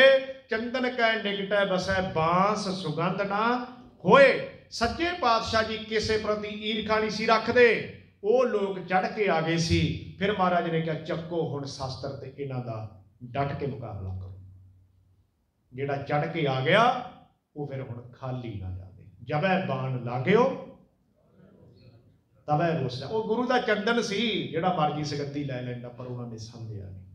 ਸ਼ਾਸਤਰ ਤਾਂ ਚੁਕਾਈ ਸੀ। ਤੇ ਜਿਹੜਾ ਭਾਈ ਕਨਈਆ ਸੀ, ਉਹਨੂੰ ਮਸ਼ਕ ਚਕਾਤੀ ਤੂੰ ਮਸ਼ਕ ਚੱਕ, ਜਾ ਉਹ ਦੁਸ਼ਮਣ ਨੂੰ ਮਾਰਨਗੇ ਤੂੰ ਦੁਸ਼ਮਣੀ ਨੂੰ ਮਾਰ। ਹਾਂ, ਜਿਹੜਾ ਸ਼ਸਤਰ ਦੇ ਪ੍ਰਹਾਰ ਨਾਲ ਗਿਰੇਗਾ, ਹੋ ਸਕਦਾ ਉਹ ਦੁਬਾਰੇ ਉੱਠ ਸਕੇ। ਪਰ ਜਿਹੜਾ ਤੇਰੀ ਮਸ਼ਕ ਦੇ ਪਾਣੀ ਨਾਲ ਇੱਕ ਵਾਰੀ ਮਰ ਗਿਆ ਨਾ, ਮੁੜ ਕੇ ਉੱਠ ਨਹੀਂ ਸਕੇਗਾ। ਉੱਠ ਨਹੀਂ ਸਕੇਗਾ। ਤੇ ਅੱਜ ਤੱਕ ਉਹ ਭਾਈ ਕਨਈਆ ਸਾਹਿਬ, ਜਿਨ੍ਹਾਂ ਤੋਂ ਰੈੱਡ ਕਰਾਸ ਦੀ ਸੰਸਥਾ ਸ਼ੁਰੂ ਹੋਈ, ਉਹ ਵੱਖਰੀ ਗੱਲ ਹੈ ਕਿ ਅਸੀਂ ਆਲਸੀ ਰਹਿ ਗਏ, ਗੁਰੂ ਕੇ ਸਵਾਰਿਓ, ਇਹਦਾ ਬੈਨੀਫਿਟ ਕੋਈ ਹੋਰ ਹੀ ਲੈ ਗਏ। Red cross mister Henry Dunant ਉਹਦਾ ਨਾਮ ਹੈ। 1859 ਵਿੱਚ ਕਹਿੰਦੇ ਜੀ ਇਸ ਸਵਿਸ ਦੀ ਧਰਤੀ ਤੋਂ ਸਵਿਟਜ਼ਰਲੈਂਡ ਦੀ ਧਰਤੀ ਤੋਂ ਸ਼ੁਰੂ ਹੋਈ ਹੈ ਉਹ ਇਹ ਕਹਿੰਦੇ ਨੇ, ਪਰ ਨਹੀਂ, ਇਹ ਸ਼ੁਰੂ ਹੋਈ ਹੈ ਗੁਰੂ ਨਾਨਕ ਤੋਂ। ਕਿੱਥੋਂ ਸ਼ੁਰੂ ਹੋਈ ਹੈ ਜੀ? ਗੁਰੂ ਨਾਨਕ ਮਹਾਰਾਜ ਤੋਂ। ਜਦੋਂ ਬਾਬਰ ਨੇ ਹਮਲਾ ਕੀਤਾ ਸੀ ਨਾ ਐਮਨਾਬਾਦ ਉਹਨੇ ਕਹਿੰਦਾ ਜਾਓ, ਅੱਗਾਂ ਲਾ ਦਿਓ, ਜੋ ਵੀ ਘਰ-ਬਾਰ ਅੱਗੇ ਆ ਰਿਹਾ, ਅੱਗਾਂ ਲਾ ਦਿਓ। ਲਾਤੀਆਂ ਅੱਗਾਂ। ਜਵਾਲਾਮੁਖੀ ਬਣ ਗਿਆ ਸਾਰੇ ਪਾਸੇ। ਉਹ ਵਕਤ ਸੀ ਭਾਈ ਤਾਰਾ। ਮਹਾਰਾਜ ਦਾ ਸਿੱਖ ਸੀ ਗੁਰੂ ਨਾਨਕ ਮਹਾਰਾਜ ਦਾ। ਉਹ ਘਰੋਂ ਬਾਲਟੀ ਚੱਕ ਕੇ ਲਿਆਇਆ, ਪਾਣੀ ਪਾਈ ਜਾਵੇ ਅੱਗ ਤੇ। ਫੌਜਾਂ ਕੀ ਕਹਿਣ ਲੱਗਿਆ, ਤੂੰ ਕੀ ਕਰਦਾ? ਤੈਨੂੰ ਪਤਾ ਨਹੀਂ ਵੀ ਅਸੀਂ ਅੱਗ ਲਾਈ ਹੈ। ਕਹਿੰਦਾ, ਤੁਹਾਨੂੰ ਹੁਕਮ ਹੈ ਤੁਹਾਡੇ ਬਾਬਰ ਦਾ ਅੱਗ ਲਾਉਣ ਲਈ। ਮੈਨੂੰ ਹੁਕਮ ਹੈ ਮੇਰੇ ਗੁਰੂ ਦਾ ਅੱਗ ਵਜਾਉਣ ਲਈ। ਤੇਰਾ ਗੁਰੂ ਕੌਣ ਹੈ? ਕਹਿੰਦਾ, ਮੇਰਾ ਗੁਰੂ ਹੈ ਧੰਨ ਗੁਰੂ ਨਾਨਕ ਸੱਚੇ ਪਾਤਸ਼ਾਹ। ਉੱਥੋਂ ਸ਼ੁਰੂ ਕਰਤੀ ਸੀ। ਰੈੱਡ ਕਰਾਸ ਦੀ ਸੰਸਥਾ, ਜਿੱਥੇ ਵੀ ਅੱਗ ਲੱਗੀ ਹੋਵੇ, ਮੇਰਾ ਸਿੱਖ ਪਾਣੀ ਪਾਵੇ। ਬੁਝਾਵੇ, ਪਰ ਅੱਗ ਨਾ ਲਾਵੇ। ਇਹ ਜਿਹੜਾ ਬੀਜ ਬੋਇਆ ਸੀ ਗੁਰੂ ਨਾਨਕ ਮਹਾਰਾਜ ਦੇ ਸਿੱਖ ਨੇ ਨਾ, ਭਾਈ ਤਾਰੇ ਨੇ ਇੱਕ ਘਣਾ ਬੂਟਾ ਬਣ ਗਿਆ ਸੀ। ਕਦੋਂ? ਜਦੋਂ ਭਾਈ ਕਨਈਏ ਨੂੰ ਮਸ਼ਕ ਚਕਾਈ ਸੀ। ਧੰਨ ਸਾਹਿਬ ਸ੍ਰੀ ਗੁਰੂ ਤੇਗ ਬਹਾਦਰ ਮਹਾਰਾਜ ਦੀ ਕਿਰਪਾ ਹੋਈ, ਗੁਰੂ ਗੋਬਿੰਦ ਸਿੰਘ ਮਹਾਰਾਜ ਦੀ ਕਿਰਪਾ ਹੋਈ, ਉਹ ਮਹਾਨ ਗੁਰਸਿੱਖ ਭਾਈ ਕਨਈਆ, ਆ ਬੇਨਤੀ ਕਰਕੇ ਮੈਂ ਸਮਾਪਤੀ ਕਰਾਂ। ਧੰਨ ਬਾਬਾ ਦੀਪ ਸਿੰਘ ਜੀ। ਜਦੋਂ ਪਾਹੂ ਪਿੰਡ ਤੋਂ ਨਾ ਜਾ ਰਹੇ ਨੇ ਦਮਦਮਾ ਸਾਹਿਬ ਦੀ ਧਰਤੀ ਤੇ। ਫਿਰੋਜ਼ਪੁਰ ਛਾਉਣੀ ਸੀ। ਇੱਥੇ ਇੱਕ ਫੌਜਦਾਰ ਨੇ ਰੋਕ ਲਿਆ, ਬਾਬਾ ਦੀਪ ਸਿੰਘ ਜੀ। ਕਹਿਣ ਲੱਗਿਆ ਵੀ ਕੌਣ ਹੈ, ਤੂੰ ਕਿੱਧਰ ਚੱਲਿਆ? ਕਹਿੰਦਾ, ਮਾਇਆ ਗੁਰੂ ਗੋਬਿੰਦ ਸਿੰਘ ਮਹਾਰਾਜ ਦਾ ਸਿੰਘ। ਜਾ ਰਿਹਾ ਦਮਦਮਾ ਸਾਹਿਬ। ਕਹਿੰਦੇ, ਤੂੰ ਜਾ ਨਹੀਂ ਸਕਦਾ। ਤੂੰ ਨਹੀਂ ਜਾ ਸਕਦਾ। ਤੈਨੂੰ ਇੱਥੇ ਹੀ ਰਹਿਣਾ ਪੈਣਾ। ਬਾਬਾ ਦੀਪ ਸਿੰਘ ਦੇ ਦੋ ਪੁੱਤਰ ਸੀ। ਕਹਿੰਦਾ ਦੇਖ, ਮੈਂ ਗੁਰੂ ਦਾ ਸਿੰਘ ਆ ਬੰਦੀ ਤੂੰ ਮੈਨੂੰ ਬਣਾ ਨਹੀਂ ਸਕਦਾ। ਜਾਂ ਮੈਂ ਮਰਾਂਗਾ, ਜਾਂ ਮੈਂ ਤੈਨੂੰ ਮਾਰੂੰਗਾ। ਪਰ ਜਿੰਨੀ ਦੇਰ ਤੱਕ ਮੇਰੇ 'ਚ ਸਵਾਸ ਨੇ ਨਾ, ਇੱਥੇ ਮੈਂ ਚੁੱਪ ਕਰਕੇ ਬੈਠਣ ਵਾਲਾ ਨਹੀਂ, ਕਿਉਂਕਿ ਮੈਂ ਆਪਣੇ ਗੁਰੂ ਕੋਲੇ ਜਾਣਾ। ਫੌਜਦਾਰ ਬੜਾ ਖੁਸ਼ ਹੋਇਆ। ਆਪਣੇ ਅਹਿਲਕਾਰ ਨੂੰ ਕਹਿੰਦਾ, ਐਂ ਵੀ 100 ਮੋਹਰ ਸੋਨੇ ਦੀ ਲੈ ਕੇ ਆ। ਮਗਾਈ ਤੇ ਬਾਬਾ ਦੀਪ ਸਿੰਘ ਦੇ ਅੱਗੇ ਰੱਖਤੀ ਕਹਿਣ ਲੱਗਿਆ, ਮੈਂ ਤੈਨੂੰ ਪਰਖੇ ਆਇਆ ਵੀ ਤੂੰ ਅਸਲੀ ਗੁਰੂ ਦਾ ਸਿੰਘ ਹੈ। ਇਹ ਮੇਰੀ ਪਰਖਣਾ ਸੀ। ਪਰ ਆ ਮੇਰੀ ਭੇਟ ਹੈ। ਇਹ ਗੁਰੂ ਗੋਬਿੰਦ ਸਿੰਘ ਦੇ ਅੱਗੇ ਰੱਖਦੀ ਉਹ ਕਹਿਣ ਲੱਗੇ, ਕਿਉਂ? ਕਿਉਂ ਰੱਖਾਂ? ਕਹਿਣ ਲੱਗੇ ਵੀ ਮੈਂ ਜਿਉਂਦਾ ਪਕੜਿਆ ਗਿਆ ਸੀ ਸਿੰਘਾਂ ਵੱਲੋਂ। ਅਨੰਦਪੁਰ ਸਾਹਿਬ ਦੀ ਲੜਾਈ 'ਚ ਨਾ ਮੈਨੂੰ ਜਿਉਂਦਾ ਪਕੜ ਲਿਆ ਸੀ, ਫੱਟ ਲੱਗੇ ਸੀ ਮੇਰੇ ਸਰੀਰ ਤੇ ਵਾਹ ਵਾਹ ਤੇ ਗੁਰੂ ਗੋਬਿੰਦ ਸਿੰਘ ਦੇ ਸਿੱਖ ਨੇ, ਭਾਈ ਕਨਈਏ ਨੇ ਇੱਕ ਮਹੀਨਾ ਮੇਰੇ ਮਨ ਨੂੰ ਪੱਟੀ ਕੀਤੀ ਸੀ। ਇੱਕ ਮਹੀਨਾ ਮੇਰੇ ਜ਼ਖਮਾਂ ਤੇ ਮਨ ਨੂੰ ਪੱਟੀ ਕਰਦਾ ਰਿਹਾ ਜਦੋਂ ਮੈਂ ਠੀਕ ਹੋ ਗਿਆ ਤੇ ਮਹਾਰਾਜ ਦੇ ਅੱਗੇ ਗਿਆ ਮੈਂ। ਹੁਣ ਚਾਹੀਦਾ ਤਾਂ ਇਹ ਸੀ ਨਾ ਕਿ ਮਹਾਰਾਜ ਕੁਝ ਮਰਜ਼ੀ ਕਰ ਦਿੰਦੇ ਮੇਰਾ। ਕਿਰਪਾਨ ਚੱਕਦੇ ਤੇ ਜੀਵਨ ਦਾ ਫੈਸਲਾ ਕਰ ਦਿੰਦੇ। ਕਾਨੂੰਨ ਤਾਂ ਇਹੀ ਕਹਿੰਦਾ ਪਰ ਮੇਰੇ ਗੁਰੂ ਨੇ ਕੀ ਕੀਤਾ? ਮੈਨੂੰ ਕਹਿਣ ਲੱਗੇ, ਜਿਵੇਂ ਅਸੀਂ ਤੈਨੂੰ ਬਖਸ਼ਿਆ, ਤੇਰੇ ਕੋਲ ਵੀ ਕੋਈ ਇਸ ਤਰ੍ਹਾਂ ਆ ਜਾਏ, ਤੂੰ ਵੀ ਬਖਸ਼। ਮੈਨੂੰ ਜੀਵਨ ਦੇਣ ਵਾਲਾ ਭਾਈ ਕਨਈਆ ਉਹ ਗੁਰੂ ਦਾ ਸਿੱਖ, ਜਿਹਨੇ ਮੈਨੂੰ ਜੀਵਨ ਦਾਨ ਬਖਸ਼ਿਆ ਆ ਸਾਓ ਮੋਹਰ ਸੋਨੇ ਦੀ ਮੇਰੇ ਵੱਲੋਂ ਗੁਰੂ ਦੇ ਅੱਗੇ ਰੱਖ ਇਹ ਅੱਜ ਤੱਕ ਭਾਈ ਕਨਈਏ ਦਾ ਬੂਟਾ ਕੰਮ ਕਰ ਰਿਹਾ ਹੈ। 84 ਚ ਕੀ ਹੋਇਆ ਸੀ ਸਾਡੇ ਨਾਲ? ਉਹੀ ਦਿੱਲੀ, ਜਿੱਥੇ ਗਲਾਂ 'ਚ ਟਾਇਰ ਪਾ ਪਾ ਕੇ ਅੱਗਾਂ ਲਾਈਆਂ, ਘਰਾਂ ਨੂੰ ਅੱਗਾਂ ਲਾਈਆਂ, ਧੀਆਂ ਦੀਆਂ ਬੇਪੱਤੀਆਂ ਹੋਈਆਂ, ਜਿਹੜੇ ਲੋਕਾਂ ਨੇ ਕੀਤੀਆਂ, ਅਗਲੇ ਦਿਨ ਜਦੋਂ ਲੰਗਰ ਚੱਲੇ, ਕਤਾਰ ਵਿੱਚ ਉਹ ਵੀ ਖੜੇ ਸੀ। ਜਿਹਨਾਂ ਨੇ ਅੱਗਾਂ ਲਾਈਆਂ ਸੀ ਨਾ, ਉਹ ਵੀ ਕਤਾਰ 'ਚ ਹੱਥ ਬੰਨ੍ਹ ਕੇ ਖੜੇ ਸੀ, ਸਾਨੂੰ ਵੀ ਲੰਗਰ ਦੇ ਦਿਓ, ਪਰ ਸਿੱਖਾਂ ਨੇ ਕਦੇ ਜਵਾਬ ਨਹੀਂ ਸੀ ਦਿੱਤਾ। ਨਹੀਂ ਜਵਾਬ ਦਿੱਤਾ। ਕਿਉਂ? ਕਿਉਂਕਿ ਇਹ ਸਾਡੇ ਗੁਰੂ ਨੇ ਸਾਨੂੰ ਸੁਭਾਅ ਦਿੱਤਾ ਹੈ। ਇਹ ਨੇਚਰ ਹੈ। ਆ ਬੇਨਤੀ ਕਰਕੇ ਮੈਂ ਸਮਾਪਤੀ ਕਰਾਂ। ਪ੍ਰੇਮ, ਸੇਵਾ ਤੇ ਨਾਮ ਗੱਲ ਪੱਲੇ ਬੰਨਣ ਵਾਲੀ ਹੈ। ਇਹ ਤੁਹਾਡਾ ਸੁਭਾਅ ਹੋਵੇ ਰਿਲੇਸ਼ਨ ਨਾ ਹੋਵੇ। ਦੋ ਚੀਜ਼ਾਂ। ਇੱਕ ਨੇਚਰ ਇੱਕ ਰਿਲੇਸ਼ਨ ਆਪ ਕੀ ਕਰਦਾ ਬੰਦਾ ਕਹਿੰਦਾ ਜੀ, ਮੈਂ ਆਪਣੇ ਮਾਪਿਓ ਦੀ ਬਹੁਤ ਸੇਵਾ ਕਰਦਾ। ਭਾਈ ਕਰਨਾ ਬਣਦਾ, ਤੇਰਾ ਫਰਜ਼ ਹੈ। ਤੇਰਾ ਸੰਬੰਧ ਹੈ ਉਹਦੇ ਨਾਲ। ਕਰ। ਪਰ ਇਹਨੂੰ ਸੇਵਾ ਨਾ ਕਹੋ ਸੇਵਾ ਇਹ ਤੋਂ ਉੱਚੀ ਹੈ। ਇਹ ਸੇਵਾ ਹੈ ਸੰਬੰਧ ਦੀ, ਪਰ ਇਹ ਸੇਵਾ ਦੇ ਪੂਰੇ ਅਰਥ ਨਹੀਂ, ਅਧੂਰੇ ਅਰਥ ਨੇ। ਸੇਵਾ ਸੰਬੰਧ ਨਹੀਂ ਹੈ, ਸੇਵਾ ਸੁਭਾਅ ਹੈ। ਜਿਹੜਾ ਵੀ ਆ ਗਿਆ, ਮੁਸਲਮਾਨ ਆ ਗਿਆ, ਉਹਦੀ ਵੀ ਸੇਵਾ।